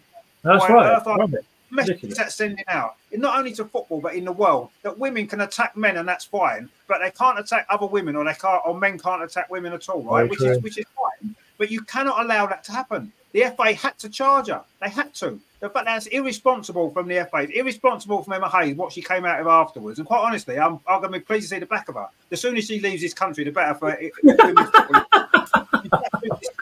and the FA are an absolute disgrace no, as well. To be honest, they're an absolute disgrace and it's just, I mean, I can't believe. I mean, you see it at the time and you think, yeah, okay, whatever it is, but you think, well, she's going to get charged, she's going to get a fine, she's going to get a touchline ban. No, they're not even charged her. How on earth have they reached that decision? Based on what? Based on what? How can they not charge you? It's ridiculous. It's just ridiculous. Anybody else does that to anyone else, they get charged by the FA. They get a ban. Arteta gets a ban for jumping up and down on the touchline. Do you know what I mean? ridiculous. the FA need to honestly, whoever run, is ever in charge of the discipline at the FA needs to be fired. All of them, sacking a lot of them. I got I got a ban for football earlier this season. It is a joke. It is a joke. I agree. And Emma Hayes does that on the pitch in, in front of watching millions of people, embarrassing herself, embarrassing women's football. And the FA just laugh at it, say, "Oh, ha, ha, that's funny. All right, Emma, we'll let you off. Don't worry, it's fine." Do you know what I mean? Come on, hey. ridiculous. I mean, what, what have you made of all of that? I mean, it's just it actually really annoyed me. Not not what happened didn't annoy me so much. It was it was laughable actually. Her, her reaction was laughable. But the FA just not even doing anything about that oh. is just ridiculous, isn't it? Yeah, that's that's the point. I think uh, a lot happened uh, due to emotions, and uh, you can you can say this is in, yeah in this special atmosphere and the emotions, but uh, the FA should have uh, fined and at least one at least one match uh, banned from the sidelines. Uh, and if it if it was the other way around, I'm sure that uh, Jonas would have been fined and maybe maybe three or four matches banned, and uh, probably uh, Arsenal uh, wouldn't wouldn't have been able uh, to keep him as manager if he no, would have yeah. if he would have shown or if, if a, a male uh, manager did this to a female manager, then he would lose his job. and she she sits in the press conference and, and, talks about male aggression. What what was the male? I know. Okay, oh. he was he was out of his coaching zone, and uh, he confessed that he used words like uh, uh, "stop cheating" or "you're cheaters," and and he shouted this to the to the Chelsea mm. coaching staff. Okay, this is not correct. He's he's a role model for not only for his players but also for for the young uh, boys and girls who watch this. He shouldn't leave his coaching zone. He shouldn't shout at at uh, others uh, other position side. He shouldn't use words words like cheaters or cheating. Okay, he, he got booked for this, and if if you say uh, he should have got uh, uh, a red card for this behavior, okay, but it was not not a special male aggression. what we saw was female aggression from from Emma when when she shoved him shoved him away. And uh, I, I mean, I haven't read anything about an apology from her. Did she say anything no. about this and said, uh, "I'm sorry, it was due to my emotions. I'm sorry, Jonas." No, nothing. And the FA, uh, they they said, okay, it was okay how she behaved. Uh, yeah. Absolutely That's ridiculous terrible. decision from the FA. And uh, once again, what happened on the pitch was due to emotions. So if you get, yeah, if you, she gets, um, yeah, or, or has to pay twenty or thirty thousand pounds uh, as fine, okay, or ban her for one match. But but nothing. Uh, this this uh, yeah allows further further female uh, managers to do this this again and again because uh, they see oh as a female I'm allowed to do this. absolutely ridiculous and wrong. And once again, I I rate Emma as a manager very high, and I, I would say she's the best manager in the WSL. Okay, but she's a very, very uh, sore loser. Very, very, very. That's not a role model for, for her team. And uh, if you see players like uh, Lauren James, who's a nasty player, maybe the best player in the WSL this season, but uh, if things don't get her way, she's she's behaving like like a child, really nasty behavior. And that's when you have a manager who behaves this way, who is a mm. sore loser. That that's mm. yeah, that's what, what Emma was on Sunday. Absolutely. I mean, and, and it's not even. Yes, I, I agree. It's, it's an emotional sport, football, right? And that game in particular was very emotional. There was a lot of emotions involved for both for both teams, for both managers, right? There, there was. There's no doubt about that. And I'm not necessarily saying that Jonas was completely blameless, but Jonas was just doing, um, you know, he was making the point that they had agreed to have one ball and then they're trying to use two balls because they're suddenly losing. And it's like, well, hang on a minute, you can't do that. He did Jonas did the right thing. He might not have done it in the right way, maybe, but I didn't see any aggression in him particularly, not towards Erin Cuthbert anyway. And Erin Cuthbert's a tough old cookie, you know, she's, she's not going to be bothered, right? But the fact of the matter is, I mean, you know, uh, Nuances of Fate says that Emma Hayes uh, was very irresponsible. If that had been Jonas, the backlash would have been deafening. No, it would, right? And that's an absolute point. And I think Jonas would have probably lost his job if he did mm-hmm. that, right? But the, the point we're missing yeah. is if she did that to a female coach, she would have got a charge. She would have probably got a ban. She would have got a fine, right? She would have been charged if it was a female manager that she did it to or coach, right? So why hasn't she got one? Is is is the fact that she's pushed a man? Is that not important? Is that is that not a statement? Is that still not bad? If she pushes a woman, what, what's the difference with her pushing a man? Surely that's actually worse in a way. Surely that's actually worse. But it's almost like the FA I think it's it's not it's not worse. It's it's it's okay to do that. It's it's fine to do that. And that's what you know. Yes, we know Jonas and any male coach would not be able to do that. Right? They would not be able to do that. They would lose their job pretty much on the spot. I think. Let alone an FA ban or an FA charge, they would lose their job probably. Right? Absolutely. You cannot behave like that. A man to a mm. woman is totally wrong anyway. Right? But the yeah. fact of the matter is, the other way around, it's totally wrong as well is totally wrong as well. And the same Definitely should happen. I'm not saying that Emma Hayes should lose her job for it. No, she's going to lose her job anyway in, in a few weeks' time. But she shouldn't necessarily lose her job. But she's 100% have been charged by the FA for bringing the game into disrepute, if nothing else. You can't do that live on telly. You cannot behave like that. No matter who, the, who, no matter who you are or who you're, who you're um, having that altercation with, regardless of whether they're male or female, is irrelevant. You cannot behave like that you're a professional at the top of your job, right? You cannot behave like that. You can't. And the fact the FA have just washed their hands of it, it's almost like they, they don't know what they they're too scared to bring a charge against her. And yeah, I think part of that is what she said afterwards about male yeah. aggression. And they probably feel that if they was to charge Emma Hayes, then it's sending out a message that well, male aggression's okay, even though there was no male aggression on show. It was female. Oh, there was not. There was not. Actually, worse female aggression to a male is actually worse because a male can't respond. Right, male aggression to another male, you can just push them back. Right, that's fine. There's no problem there. There is a problem when a female attacks a male because a male is not allowed to fight back. Understandably so, right? So that makes it worse. A, a woman to a woman, that's fine. They can fight back, right? There's no problem. If that's what they want to do, it's not great. You don't want to see it, but they can fight back. So it, it, it's actually worse if it's a woman attacks a man because a man cannot fight back. Jonas could not have fought back. It's not that he'd want to, but he couldn't. And that's sending out a message. Actually, it's okay for women to do that. It's okay for women to behave like that towards men. It's fine. It doesn't matter. Yeah, it doesn't matter. and especially it matters in women's football when there's a lot of male coaches and there's a lot of male coaching staff involved. It, it does matter. It's really, really important. And the FA should have does stood, stood up and said, you know what? We're going to charge you with something here. We're going to charge you with everything that we can possibly charge you with. I would have banned her for the rest of the season for the touchline, quite honestly, for that. You cannot do that. With what she said as well, No, completely banned. When you think some players have got banned for things that they've said about referees, for example, right? They've called Hmm. Mm. referees in, they, they criticise the referee's decision. Managers have done that and got a ban, right? Just for words that don't mean anything. She was physically aggressive to a fellow uh, coach on the pitch. Unacceptable. And the FA have made themselves look an absolute joke.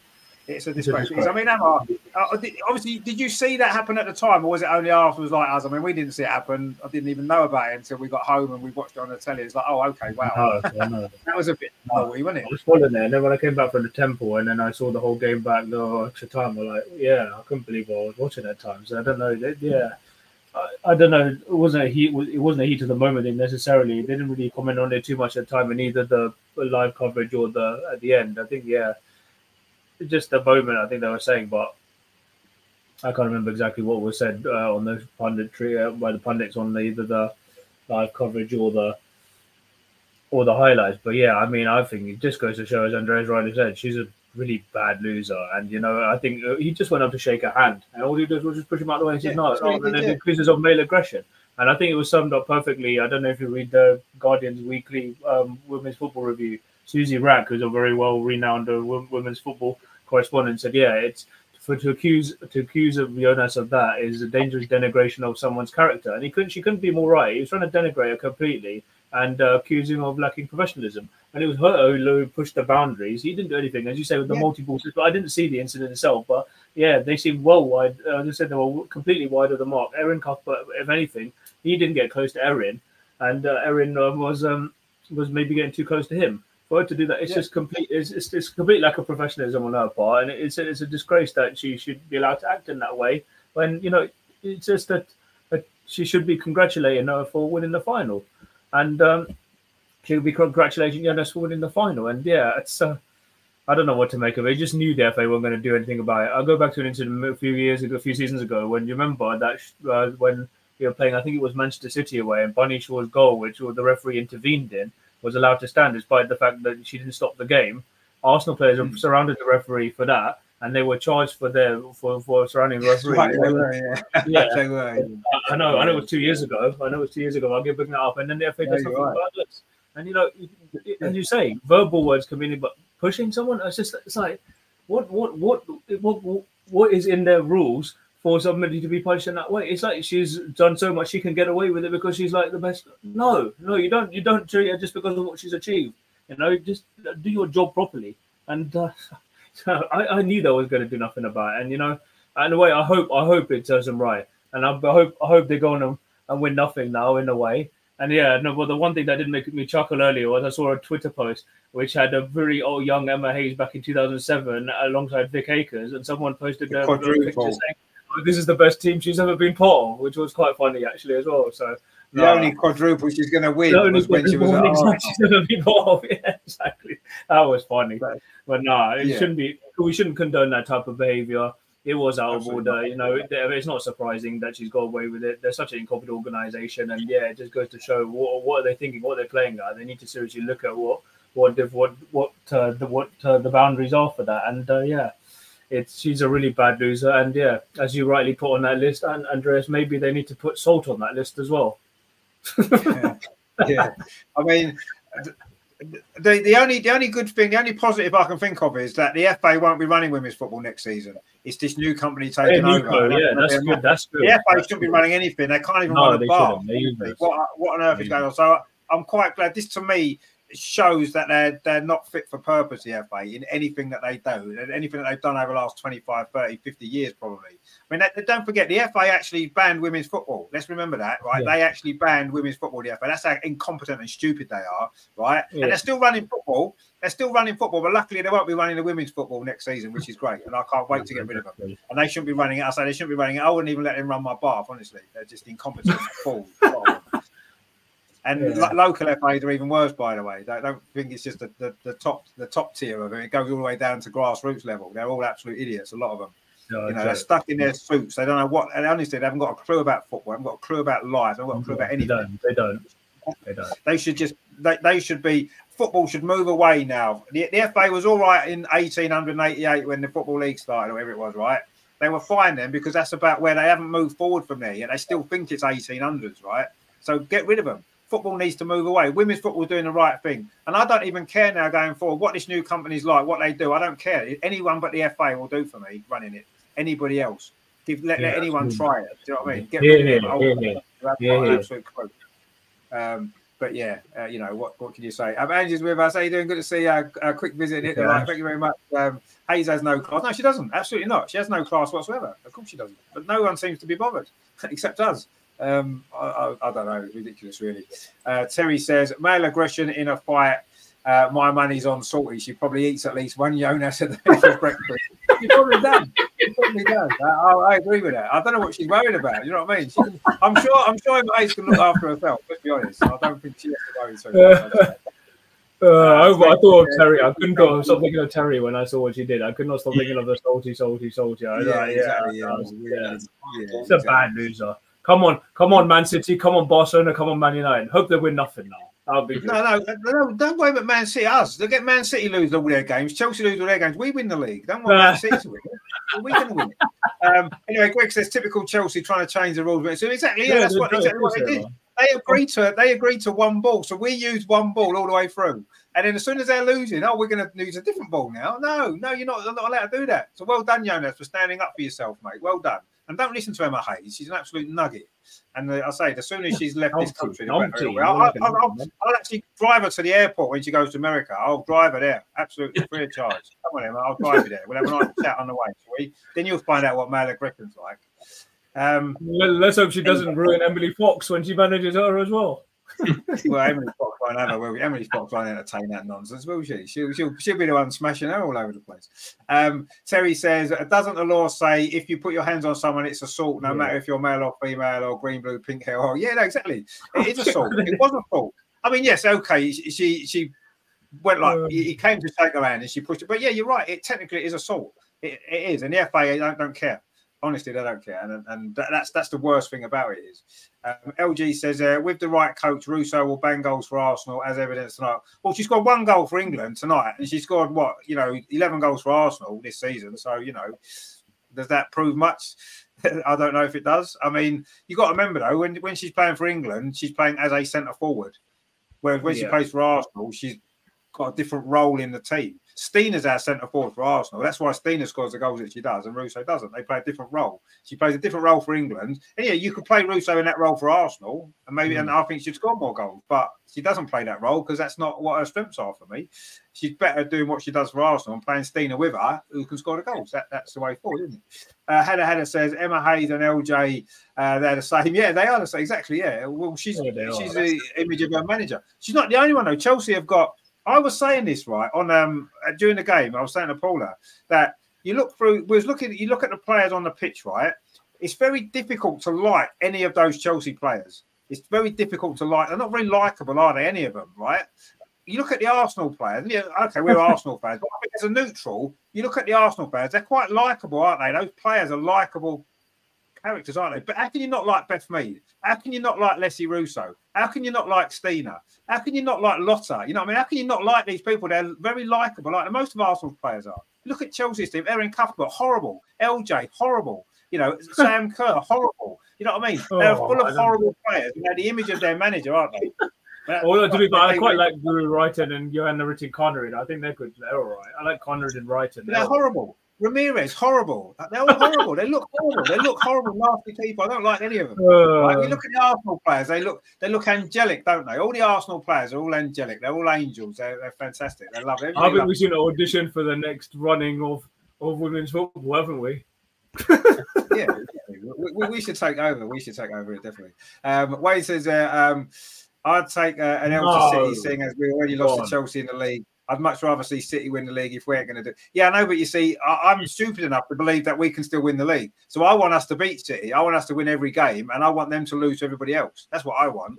I don't want us to lose to City to help to mean Chelsea don't win the league. I want us to beat City and win the league ourselves.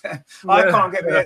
There's still quite a few games left after. It's not like it's the last game. Of the, if it was the last game of the season, we were out of it. Yeah, let them win to win the league. Absolutely, I'd, I'd agree with you. But when there's still games to play and we could still technically win it, I can't. I couldn't do that. I just couldn't do it. I, I we have to beat them quite honestly, because I don't really like Man City either. Let's be honest, I don't. so I don't really want them to win the league. But yes, out of the two, of course, I prefer Man City to win it. But overall, I want us to win it, of course. Uh, Ed says, "Yeah, Cuthbert's another volley." Yes, she is. Yeah, and that's why it was it was great when it was Stina that pushed her out of the way for that winning goal as well. Was, that was sweet. That was a sweet moment. That when it was Erin Cuthbert, she just said, "No, I'm pushing you out of the way." And when like Vicky did it about four times in the game, just just smashed her all over the place. And that's what you want to see. You want to, you have to get in Chelsea's face, and that's what we were brilliant at. And yeah, Emma didn't like it. Clearly, she can't deal with it. She can't deal with losing. And Jonas has done it twice to her this season. You know, he's done it to her before in other last season's final, other games in the in the WSL. He, he's kind of got her number, and it's a shame she's going in some ways because I think this team, and it's what I want to come on to actually because obviously winning the, the Continental Cup two years running is, the, is is a good effort, right? We can't criticise that. Is it enough for Arsenal? No, of course it's not. Arsenal should be winning league titles, right? Arsenal should be competing at the top end of the Champions League. That's what we should be doing. But I believe, and I said this after the game, and it became obvious to me watching the game that this is quite a new team in many ways. Emily Fox has just come in. She's massively going to improve this team, right? Laia yeah. Codina, as we mentioned, you know, she's only recently coming into the team. What a big impact she's going to have you know, and then you've got obviously this is um, Leslie's first season at, in the team as well. You know, her impact is going to grow in the future years, and I really think that we're building something really special here. And we've shown in the big games, you know, we've we've hammered Manchester United, we hammered Chelsea, we've beaten them in the cup final. Um, you know, we've we beat Man City in the league. We, we've in the in the big games we can we rose to the occasion. Our problem this season has been in some of the lesser games we've been inconsistent, we've made silly mistakes, we've dropped stupid yeah, points, right? That can be put right. That can be put right. What can't be put right is being good enough to beat the top teams. You're either good enough to beat them or you're not. And we are. We've shown that we're good enough to beat those top teams. We've just got to find that consistency now to when we play the lesser team to not make those silly mistakes. And I can see in the summer we're going to buy bring in some players, right? Obviously, we are transfer window. We'll bring in some players, right? Add add into the, the depth that we've got. One or two might leave as well. But I can see what we're building here now. And I think this team, Chelsea are going to go for a transitional period next season without Emma. Regardless of what manager they get, they can get the best manager in Europe, and they may well be looking to do that, right? But they're going to have a transitional period because those players are used to playing under Emma Hayes. When when Fergie left Man U, look what happened. Wenger leaves Arsenal, look what happened. You know, it's happened all the time when a successful manager leaves a club a new manager comes in with the same players and it's difficult. And I think Chelsea are going to have a season, certainly one season next year where they're not going to be as good, right? Man City are always up and down anyway. We've got a massive chance next season. We, we're now going to have a settled team. This team's going to go into next season. Yes, a couple of additions, but we're not going to make massive changes. We don't need to. And I think this is the, this is the starting point for me. I'm prepared to give Jonas the opportunity. He's deserved, I think, the opportunity next season to get this team going and to move us to the next level, which is winning the league title and yeah. competing in the Champions League, right? I think Jonas deserves that, but and I can see massive positive signs. I mean, do you think so, Andreas? Can you see this team being able to grow next season and become that next level that we need to get to if we're going to compete for league titles? Can you see this team doing it? Because I can. I hope so. Because uh, winning uh, the Conti Cup is is good. It's a trophy for us, but uh, we should compete for the league title for yeah mm. until the last day and uh, yeah. yeah. and uh, we should be in champions league at least in group stage but uh, normally going through group stage this this is what yeah. what yeah what we expect from from this team and from this squad um, i said this uh, very often jonas uh, convinces top players to sign for the arsenal or or to extend their contracts sometimes in this season he didn't bring the best out of this squad. And uh, it, yeah, I hope, I hope, I'm convinced that we will finish third this season. So we will be back to Champions League football, and then in next yeah. next season is is the one in which yeah in which Jonas uh, has to prove that he's is a top quality manager. He brings the best out of this squad. Uh, as I said, we must compete for the league title. We can't we can't deal with situations like losing against Spurs or West Ham. Uh, that's not that's not Liverpool. us. Not Liverpool. Liverpool. Okay, Liverpool is on, on fourth position right now, but um, what really hurt uh, were, were the defeats, the loss at uh, Spurs and West Ham. This is impossible normally for us. It's not not our level. And uh, being out of Champions League, okay, there were special circumstances with, with the World Cup, coming back from the World Cup with, with a lot of new players, etc. But next season, uh, no excuses. We must No. qualify for Champions League group stage. We must compete for the league title with all this situation around uh, Chelsea. And uh, yeah, if we are lucky, then um, then Mark Skinner will extend his contract at United. This will be good for us. And, and also um, Send him uh, to Gareth- Chelsea. Send him to Chelsea. That'd be good.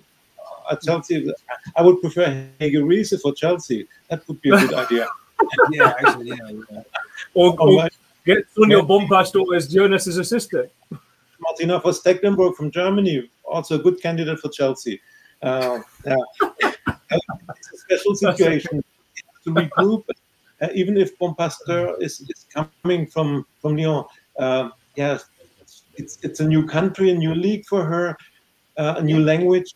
Uh, this will be yeah a difficult situation for Chelsea. Yeah, of course, they get Millie Bright back. They they will get uh, Sam Kerr back, uh, but only um, at the end of of the first half of the season. So next season is yeah very very important for us, and we want to we want to win more than the Conti Cup, and and we want to to have Champions League nights at the Emirates. This uh, Oh, this is- absolutely. No question. Yeah. Absolutely, yeah. Now, of course we Yeah. do. Yeah, I mean, you know, that, that's been that's been the, the biggest disappointment this season in many ways. You know, after we sold out the Emirates last season for that semi-final, but then not being in the group stage at all this season was a massive. Before the season even started, and I think that maybe put a little bit of a downer on things, didn't it? Then we lost to Liverpool, and it was all a bit. You know, so the fact that we've ended up winning a trophy, it's not the, the trophy we would all have picked as our first choice. No, but again, I've said it earlier. You know, it, it's an important trophy. It's, it's it's it's a major trophy, and we've we've we've done really well to to have won it. So yeah, um, Wayne says there. no, we ain't winning the league. If we if we beat Chelsea, then yes. Uh, but because uh, we lost to Chelsea, I'd lay down happily to stop Chelsea um, Yeah. third and trophy go again next season. Yeah, I mean. I kind of get you. I get what you're meaning, and I'm not necessarily disagreeing with you. But while it's still mathematically possible for us to win it, I'm going to want us to keep winning games until it's no longer possible. And if that means it's going to be no longer possible with two games to play because of the six points, then I'll believe until then, unfortunately. And I want us to win every game until then, even if it means beating City and it means Yes. Chelsea win the league. We can't control what happens, can we? All we can do is control our own games. And we, we could we could beat we could lose to City, and then City might lose their next game anyway. So we might as well have beaten them, and then Yeah. they lose their next game. You know what I mean? We can't look like we just have to play our game, play for ourselves, not play for anyone else. Play for ourselves, and for ourselves, it is winning as many games as we can and finishing as high as we can if it's first, second, or third. And that's what that's what we've got to do as as, as professionals anyway. I, I want to see us do that. Um, Greg says Hazy's only a big head. She hasn't got the stamina to take training. Well, no, she can just sit on a little bench and watch watch them train, can't she? Watch them run around while she has her cake and uh, biscuits, whatever it is. Do you know what I mean? Um, so he says if it doesn't work out for Salty in America, um, she we should let bygones be bygones and give Salty a cleaner's job at London Colney. Uh, yeah, no, maybe that's what we need to do. Maybe, she- maybe she could work in the kitchen. She looks like a dinner lady, actually, don't she? So she'd probably be good as a dinner lady in, in the in the canteen for our players. Um, so I think that's her next job. Yeah. Actually, that's she'll be she'll be a dinner lady. She'll be a dinner lady for the uh, Arsenal women's team at London and a men's team. She could be dinner lady for the men's team as well, couldn't she? And then she could start pushing people around there. Let's see how she gets on there, shall we? Then Let's let's see let's see her push um let, let's see uh let's see her push Thomas Partey around, shall we? Let's see how she gets on there. Let's, shall we? Yeah, that'll be interesting. Uh, Let's see the male gets in then, shall we? Um, but no, yeah, you might be right, Terry. Actually, maybe that's that. Maybe that's her future. It'll be away from actually uh, managing the team. What we'll see. Um, but yeah, so no, I, I'm confident next season. I mean, am I? do you think this team can go on next season and really, really push on and, and make that next step? Because we need to now, don't we? There's no more excuses next season about rebuilding and this, that, and the other. I think we've had two No. seasons of Jonas who've been trying to get this squad together. He's got it now. It's all in place. Next season's no excuses. We've got to go and do it, haven't we? Yeah, no, we had the injuries. We had to have blighted us last season. Fine, yeah, we can't really use excuses this season. It's just about getting the consistency. Yeah, now we really have to challenge the top two and really just uh, start to show what we're made of. Yeah, okay, we had the World Cup after that, but you still see, look at some of the performances we had. Like we said, the Chelsea defeat previously, the Spurs, Man United. We just need to, we need, uh, we need a bit more better squad depth, I think. Yeah, and uh, the recruitment in the summer is going to be absolutely key. Who can we get? Uh, the players coming back will be key as well. The players we've signed, I think, yeah, they've shown that they can already adapt. And uh, yeah, and hopefully we can get what he wants. He can get out, um, keep the players fit. Hopefully, not have any too many serious injuries or fatigue. And yeah, it's just going to be about get, uh, being able to get the best about out of them, knowing your settled lineup every week. Because we've often said this season, he doesn't know his best starting eleven. He doesn't. He has a lot of dilemmas. It's good to have a dilemma, but we want to see some of the um, something's changed, like trying to start Lessie and Stina up front together, for example. And yeah, should he have his uh, um, hopefully get a start a settled starting eleven? That's what we want to see. That plays week in week out, like you see often with uh, with uh, the teams challenging for the title, whether it be in the Premier League or the WSL. And uh, yeah, can't use that as excuses. He's gonna just have to. I was just reading an article not long ago. It said, yeah, he, it's now down to Jonas to build on this and then take them to the next level. And we've seen what we can do in the Champions League, mixing with the best with Lyon and Wolfsburg last year, for example. And uh, yeah, we need to take it to the next step. And uh, okay, I, I, take back what I said. Um, he is a good manager. He's shown he can uh, tactically outwit the best, as we've shown, and uh, remain cool and calm under pressure, unlike his counterparts. But now it's down to and he speaks well, as we know. He said he speaks very well, and he knows what he wants. To now, he's now, now, now it's time for the action to take place on the pitch, and uh, we want us to be challenging on all four fronts next season, not just relying on the Conti Cup to save our season. No, exactly. Yeah, the, the Conti Cup's great, and it was fantastic. But yeah, it, we need we need more. We need to deliver more now going forward, don't we? Um, I mean, let's win the Conti Cup again. Let's win it three years in a row. Let's not dismiss it.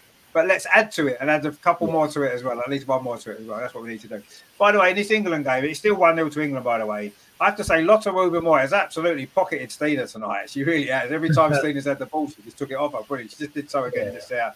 She just headed away a corner from Sweden as well. She had a brilliant game, Lotte. Um, I do hope I do hope England get another couple of goals and then Stina scores one for Sweden. But um, as long as England win, but Lotte's had a great game um, for England actually, brilliant. Um, but no, I think next season's a big it's a big season next season now for for for, for Jonas and for Arsenal. And I think if we, um, if you know, I think we, we kind of thought that finishing third and winning a Conti Cup two seasons running wasn't good enough, right? And I do feel that there's circumstances that we need to take into account.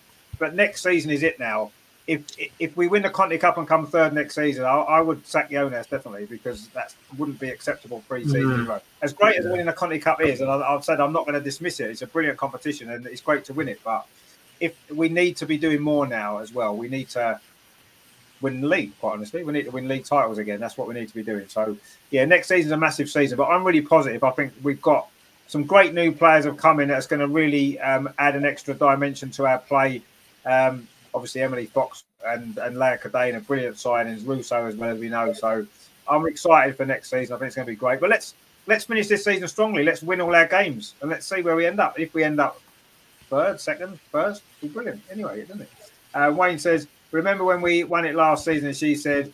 Um, it's their week. Yeah, yeah, yeah. She's so sly and bitter when it comes to Arsenal. Yeah, she is. Yeah. She said last season that we wanted it more because we hadn't won many trophies that this team, and now we're beating them again. What's her excuse this time? Nothing. It's just to blame Jonas being aggressive. That's our excuse this time. You know what I mean? Come yeah. on, Emma. Just give us some credit for once, eh? Well, how about that? How about that? One, just once in your life. Because you wouldn't even be where you are without Arsenal, would you? So we all know that. Um, anyway, yeah, Emma. I'm sorry, Emma, but you know, you, you you've got away with murder in that game, and you know. But anyway, we beat you, so we don't care. We beat you again, so tough. Um, so yeah, brilliant stuff. What a great day it was. I mean, Andreas, just before we move away from the final, what was your final thoughts on the day overall, the game and everything? It was great, wasn't it? Yeah, fantastic day, and you can couldn't have it better. And uh, yeah, the whole yeah the whole day with with the coach trip uh, from London to to Wolverhampton with the supporters club uh, was fantastic, and then driving home with this this emotions, yeah, just fantastic, and and the feeling, uh, you we we are cup winners it doesn't make a difference. FA Cup, Conti Cup in this this moment on Sunday, I felt that we are the cup winners, and yeah, it's just a fantastic day. And uh, I think we, of course, the team, the girls deserved it, but we as supporters, we also deserve this this uh, success. When, when you look of, uh, of, of the support and, and how many uh, travel to the away matches uh, that we fill uh, the big stadiums, and I think yeah, don't misunderstand when I say we we as supporters we deserve uh, a, a, success and a winning winning this trophy and uh, it was fantastic feeling and I'm really really glad and happy that I came over to England to watch this live in the stadium. Yeah, that's just great. Well done. It was. Yeah, I mean, I I said after I, I couldn't get we couldn't get to last year's final, right? And um, I I always uh, I've always kind of had the feeling that I would rather um, regret something I've done as opposed to regret something I didn't do. Last year, I regretted not going to that final and we won. And this year, I, I had to be there. This year, I was not going to miss two finals in a row. I had to be there this time, and I'm so glad I did. Even if we'd lost, I would have still been glad to have been there. But the fact that we won in the way that we did, it just made it even better. And you know, it. I, I said it earlier on, and it doesn't make a difference to me when Stina's goal went in. It was like um, when Aaron Ramsey scored the winner in the FA Cup final for Arsenal.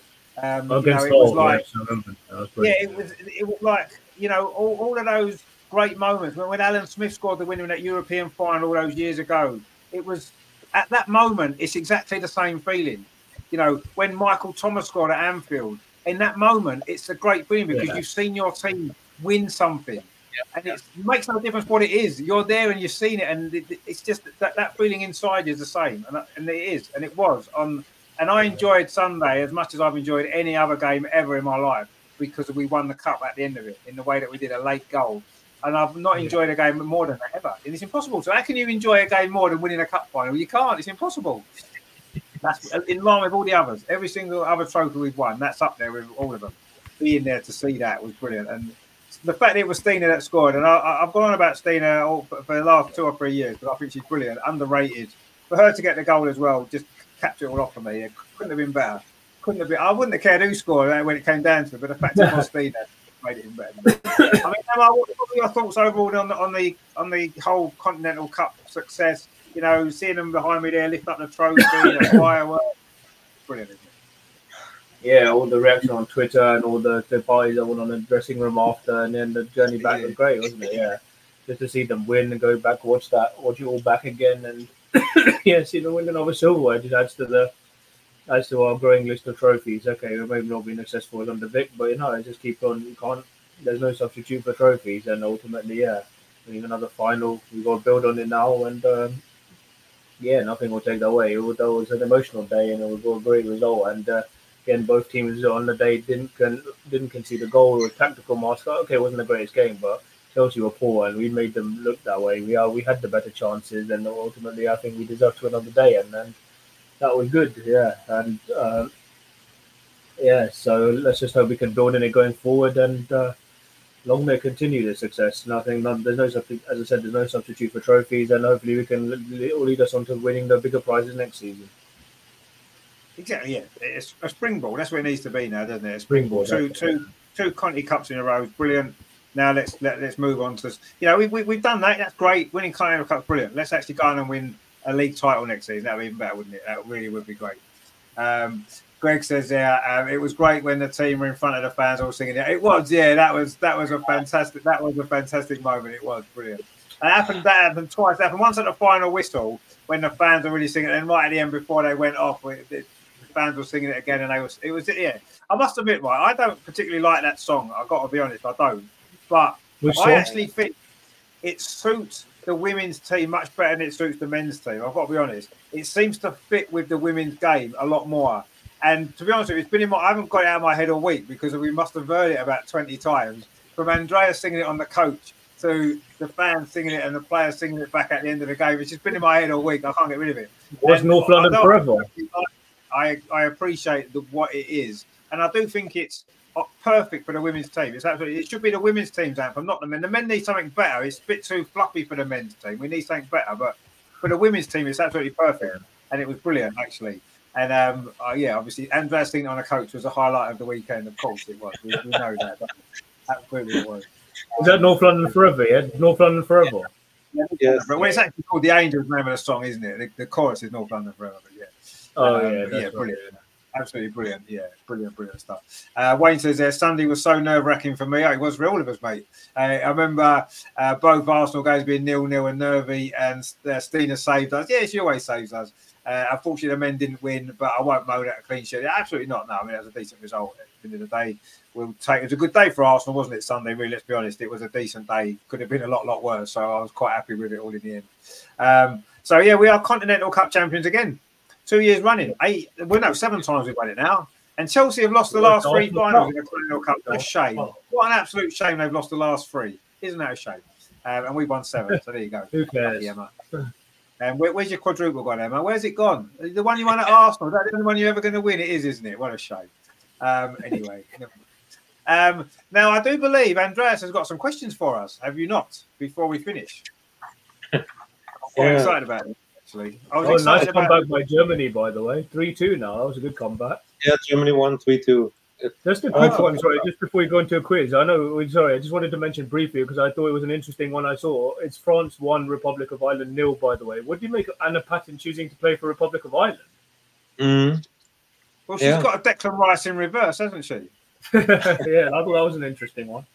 Well, it is, yeah, but she's never going to get picked for England, is she? Let's be honest. And if you've got the option to play international football, you're going to take it, aren't you? Let's face it, Lotte Wubben-Moy's had to spend two years of playing brilliantly to get a chance for England. Anna True, Patton's had not got no chance ever. So she's made the right decision for her. Yes. I, I I, I, wouldn't. I, I'd, I'd only ever want to play for England. I could have played international football for Burma, for my mum's family, right?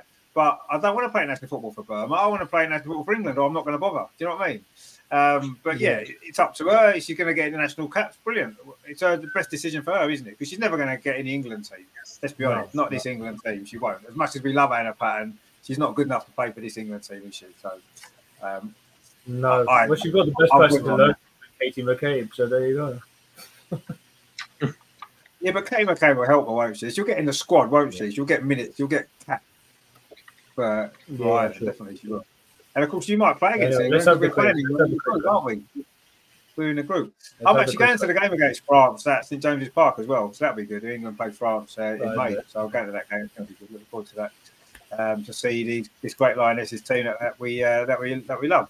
Um, but no, it is a strange decision, but yeah, I think it's the right one for her career and for, for herself, her personal life as well. Yeah, good. okay. Um, right, Andreas, hit us with these questions because they're exciting. Beth Mead's coming on, by the way, for England as well, so it's all exciting stuff. Now, um, there, there are currently a lot of Japanese internationals are playing in the WSL. Uh, I think uh, right now it's nine Japanese internationals in six WSL uh, clubs, and the most uh, the most uh, prominent or well known uh, Yui Hasegawa for Man City, Maika Hamano Yeah. for Chelsea, or Hinata Miyazawa for United. So, but how many Japanese internationals did play for the Arsenal women in WSL Oh. time? And of course, Oh. name them. What, so this Uh, is in the history of the WSL, yeah? WSL, yeah. Uh, I Rolf don't Bo's just scored for Sweden, by the way. Um, Rolfo's just scored for Sweden. It's 1 1 Ah, at Wembley. Oh, Another header, actually. Another header across on the right. It was a header at the far post. Very Yeah, similar goal, actually, to what England just scored before. Um, it's Rolfo that scored it. It's 1 1. So that's not great. Really, England need to win this game, but there's still time. But it was a cross from that right hand side and at the far post.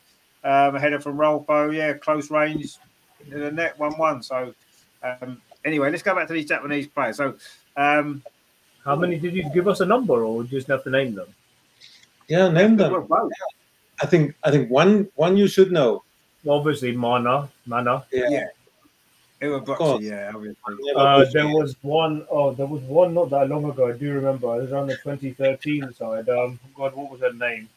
Sounded similar to the wife of um, John Lennon's wife, but I can't think what her name was now. Oh, Yoko yeah. Ono. What's it called? That was John Lennon's wife. Isn't it Shinuji Ono or something like that? Uh, Shi- Shinobu Ono. Yes. Oh, Shinobu. That's it. Ono. Shinobu Ono. That's I it. Yeah. remember her. How many games did she play for Arsenal? uh, 10 WSL uh, games, four FA Cups, six uh, League Cups, and two uh, Champions League matches. She was Really? there Wow. in 2014. Yeah. Inobu. And it's, Wow. it's only, only one more name you should know. There's only one more. One more. Oh, yeah, it was three Japanese internationals playing uh, Arsenal. Oh, you sorry, I didn't hear you say three. I thought I didn't hear the number. Okay, so we said Mano, we said Ono. This one, this other one is more obvious than the other one. No, I think the, name, the names are too too strange for us. So it was also in 2014. Oh God, 2014. uh, I'm not going to remember this one. You know, good- oh no. Um, that would be hard to remember that one. I wasn't expecting a question about Japanese players. I've got to be honest. Yeah, I'd have done some research if I'd known we were talking about Japanese players. I, I don't make it too easy for you. No, no, definitely of not. course not. Definitely not. No. Uh, Yeah. Wow. Okay. Um, It was in 2014, also from January uh, 14 until January 2015, a central midfielder. And if you don't know her, then you you can't Central guess. midfield. Central midfield. No, I'm not going to can't- I can't think. I'm so, I can't. I can't even picture. I can't even. I, I couldn't even picture that Ono, let alone this one. Oh, Stina going to score again. Oh, she's missed. Stina's gone one on one with Mary Earps and put it wide. Wow. Oh, That was a big chance for Swear. I thought she'd score. She's one on one with a keeper there. See, that's Stina's movement here, like, is brilliant. In between the two defenders, she gets to the wrong side of Lotte and she puts herself in a great position. She sends Mary Earps the wrong way and it's gone wide. Oh my God, that is. If that was an Arsenal miss, everyone would be, would be screaming at her. She should have buried that. That's a bad miss. It was No, good no. movement. It was a good run, but she's got to finish that. She did everything right and she just sent Mary Earps the wrong way and just rolled it past the post, the wrong side. Incredible miss. no, I don't think we're going to get this third one, by the way. I'm not going to get it. Anyway, Uh, there's some okay. good news for the England game. Lauren James has just been replaced by Beth Mead, so there's an upgrade if ever there was one. I'm not going to get this. on the Greg says Japanese. um, Stina just missed an open. Well, it wasn't an open goal, but it was a big chance that she's missed indeed. So maybe England are going to win now. Uh, let's hope so. Um, The, I the know name Terry says, uh, here's an oldie one for you. Why do the Japanese all live in northwest London? Because when they get off the plane and get in a minicab, they always say, hello, mate. That's quite funny, actually. That is quite funny, too. It's not slightly racist, maybe, but it's quite funny. right, mate. That is- that is pretty That's terrible. Sorry, that's terrible. That's pretty. No, that's that's pretty funny. That's that's out of the. Um, who was it? Um, who was that comedian that used to say jokes like that in the 1970s? Um, Bernard Ken Manning. That's like a Bernard Manning joke, isn't it? Ken, Um, oh, Bernard yeah. Manning. I think it was Ken Dodd or something like that. No.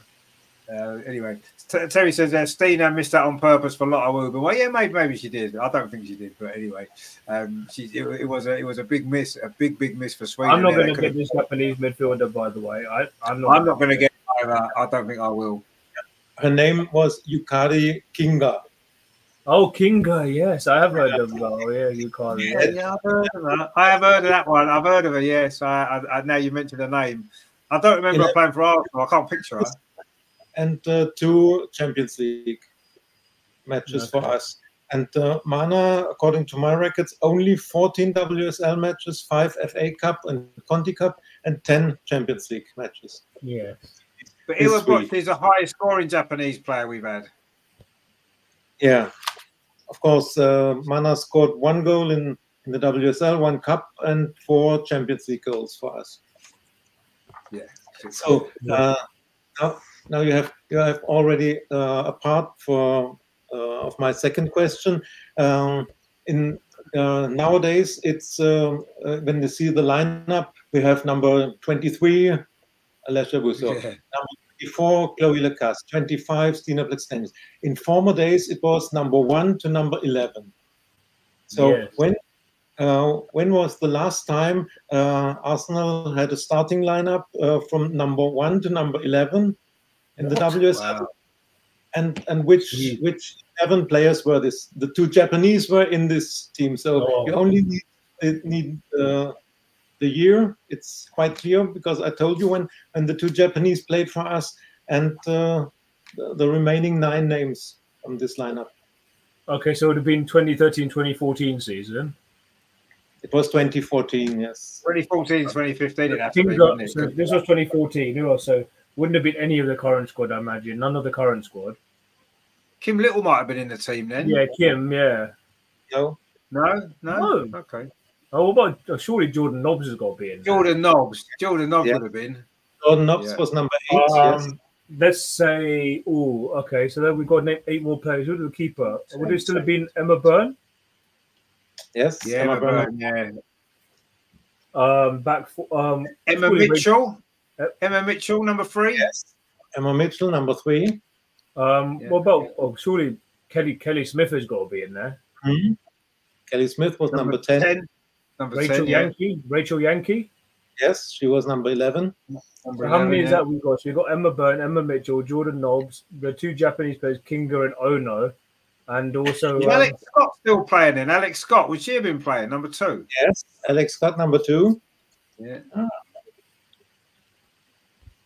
Alex Scott this was is a in good it. Arsenal team, this, isn't it? What a team this is, by the way. This is a great Alex- Arsenal team. Alex Scott was correct. Yes. Yeah. Yeah, Alex Scott, Yeah, number yeah. two. And Yes. Casey Casey Stoney. Yes, yes. What number? Stoney, yeah. Three, three, three. No, Emma Number- Mitchell's three. Emma Mitchell, Oh, three. sorry, sorry. Casey Stoney would be four or six then. Five. Casey Stoney. Or five.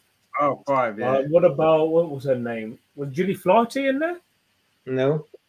Okay. A Dutch Oh, player. have the other centre back? Who would have been the other centre back? Would, Katie- would it have Katie been Chapman? um, a centre? Santi? Chapman, No, a Dutch player a Dutch think- player. from the name. Yes. Janssen? No, Dominique Janssen? Dominique Janssen. No, no. She was later. Probably, yeah. would How many have we still got? How many, how many have we still got to go? How many have we still got to go? Two. Only two. Number six and number nine. Six And and number, number who's nine. number four? Who's number four? Yukari Kinga. Oh, of course, yeah. And Shinobu Ono was number seven. Six and nine. One was a Dutch player. Who was around in the Dutch? Around. Oh, I'm thinking the only Dutch player maybe around that time. Melis, Manon Melis. No. It's No, also difficult, difficult name, I can tell you. It was Anouk Hoogendijk. Oh, Anouk Hoogendijk. Yes, I've heard of her. Anouk Hoogendijk. I've heard of Anouk Hoogendijk. Yeah. That's Number number, nine. six. That's number, number, nine, six. find out by yourself. She's still she's still playing. I think in in championship right now, not in the WSL. Danielle Carter. Yes, Oh, That- Daniel Carter. Oh, very good. Yeah, that's it. You got it. Well played. Well played. What, a- what a great Arsenal team, by the way. Apart from the Japanese player I've never heard of, oh no. That's a great Arsenal team, isn't it? Let's be honest. That's a decent Yeah. team, isn't it? Yeah, when Some great names there. Kelly Alex- Smith, Rachel Yankey, Jordan Nobbs. What a team. Casey Katie Stoney. Stoney, Emma Mitchell, Alex Scott. What what a, oh, what a great team that is. I'll say that is a brilliant That team. a retro, retro Arsenal team. Yeah, right there. That was a brilliant Arsenal team. Um, wow. That was a good question, actually. And that's the last time we played 1 to 11, is it? Was that the last game of the season, that season? I don't know which game, but uh, it was in season 2014, and it was the last time that we lined up with number one to 11 in the starting lineup. Wow. That is great, isn't it? That is fantastic. Okay. What a, That's- what, a- what a great team as well. Did we win that game on? If we did, we must have won that game with that team, surely. We must have won about 8 0. Whoever we Probably with, with these players, uh, probably. Yeah. I would have thought so. That's that is a great team, isn't it? What what a team. Uh, Greg's gone with Yankey. Yeah, Yankey was in there, of course. Rachel Yankey. Um, England are making another sub actually. Um, Chloe Kelly's coming on, which is good. And Sweden are making a sub as well. Um, it's one-one. It's 15 minutes to play. It's quite a tense that game actually because the first game of the Euros we're at home. We, we have to get a result of something. We can't lose. We certainly can't afford to lose this game. Um, and we, you know, we could easily be behind. So we've got a lot to do in this last 15 minutes here because this is A- Angeldahl's gone off. I can't see who's come on actually. Um, Angeldahl, oh, Rubensson. Rubensson's come on Sweden. So, We have France in our group. So France, Sweden, Ireland. So, uh, it might happen that we finish third and, and have to go through these uh, uh, knockout. I think uh, I, I think we'll beat France. I think we'll beat France certainly at home. We can get a draw away. This, I think Sweden, obviously, Sweden are the best, the next best team in our group after us, aren't they? It should be between us and Sweden to win it, you'd imagine. But I don't know. France is really strong. Sweden coming forward again. Stina inside the box. Who just took the ball off? Oh, was it Lotte again? Oh, what a surprise! She's took it off her all day long, apart from that one chance when she was clean through on goal. But, um, but yeah, now Lotte's played well tonight for England again. Not well, we shouldn't be surprised because she's been doing this for Arsenal game after game all season, hasn't she? Let's be honest. Um, and I think what I noticed with with Lotte is when she played those two recent England games, her confidence has grown, hasn't it? You can see how much more confident she is now. You know, tonight mm. she's playing for England and she's like directing the defence. You know what I mean? She's like a leader of that, of that, team, and that's how much her confidence has grown just from the last few weeks, and it's just brilliant to see. Um, well done, Lotte, actually, fantastic.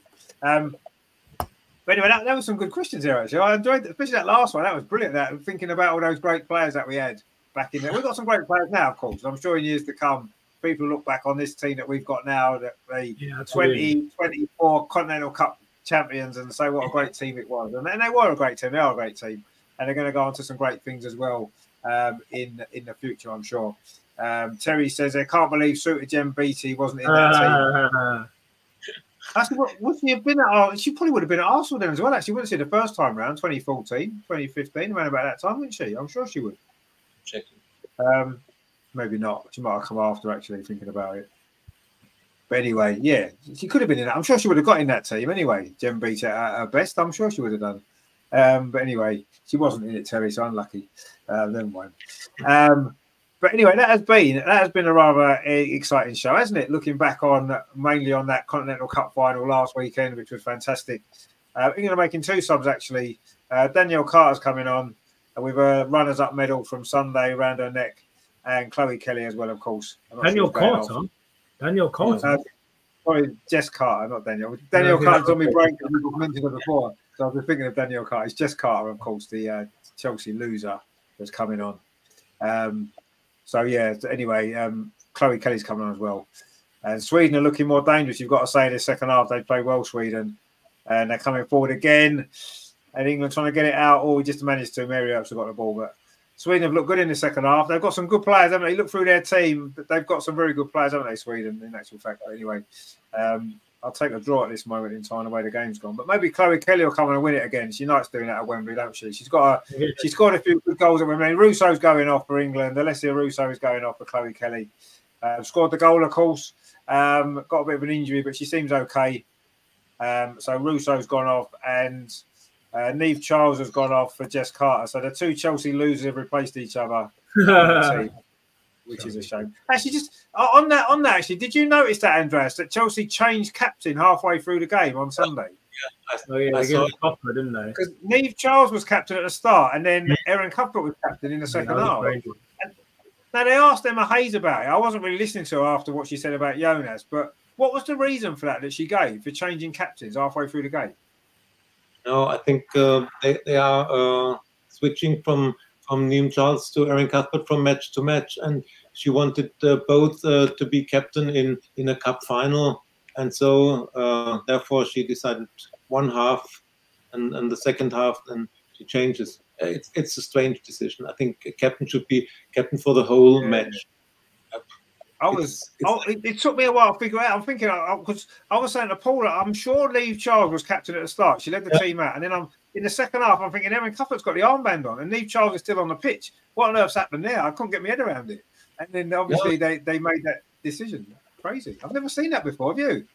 No, no, I've never seen this before, and it looks like like a punishment for the for the one yeah. who's uh, in the first half, and then uh, yeah. you're taken off the armband because you didn't do it uh, good or, or, something like that. But of course, if if she said it before to the team, yeah, and it may have been prearranged. Yeah, yeah, I suppose so. It's a strange decision in front of a cup final. Uh, you should say you are the captain in this match. Yeah. So if that if they'd won, would they have done like I mean, obviously Leah Williamson and Kim Little went up together and lifted the cup together, didn't they? I'm assuming that's what they would have done if they'd won. I suppose they'd have both would have lifted it together, wouldn't they? I guess, but I mean, I don't know why Leah Williamson was lifting it. She's not even captain. She's vice captain. But anyway, um, there you go. But doesn't matter. We won. I don't care who lifts it. You know, they should have let Stina lift it on her own because she she won it for us pretty much on her own, didn't she? Um, anyway, Terry says, great Friday night entertainment uh, from Richard Andreas Amar, plus all in the chat. Only downside so far tonight is the likes are low. Yeah, but don't forget though, Terry, the, Lionesses are playing tonight. So I think a lot of people are going to watch this this show back after the game, maybe watch it tomorrow, something like that. So I think the likes will go up then. Stina's just lost her boot, actually. A Lotte Wubben-Moy's just booted her. Don't do that, Lots. Don't, don't be injuring Stina. What's the matter with you? God, She's been watching Emma Hayes too much, isn't she? That's what it is. Too much aggression. That's what it is from Lotte there. Um, Yeah, aggression. put a boot back. I bet they, I bet they have a, I bet they'll have a drink in the bar together afterwards, them two, because they've had quite a battle, Lotte and, and Stina tonight. Actually, it's been one of the highlights of the game. What I've seen. Um, but anyway, there's 10 minutes left. It's still 1 1 England against Sweden. Um, anyway, thank you guys for, for watching tonight. I've enjoyed looking back on last weekend. It was great.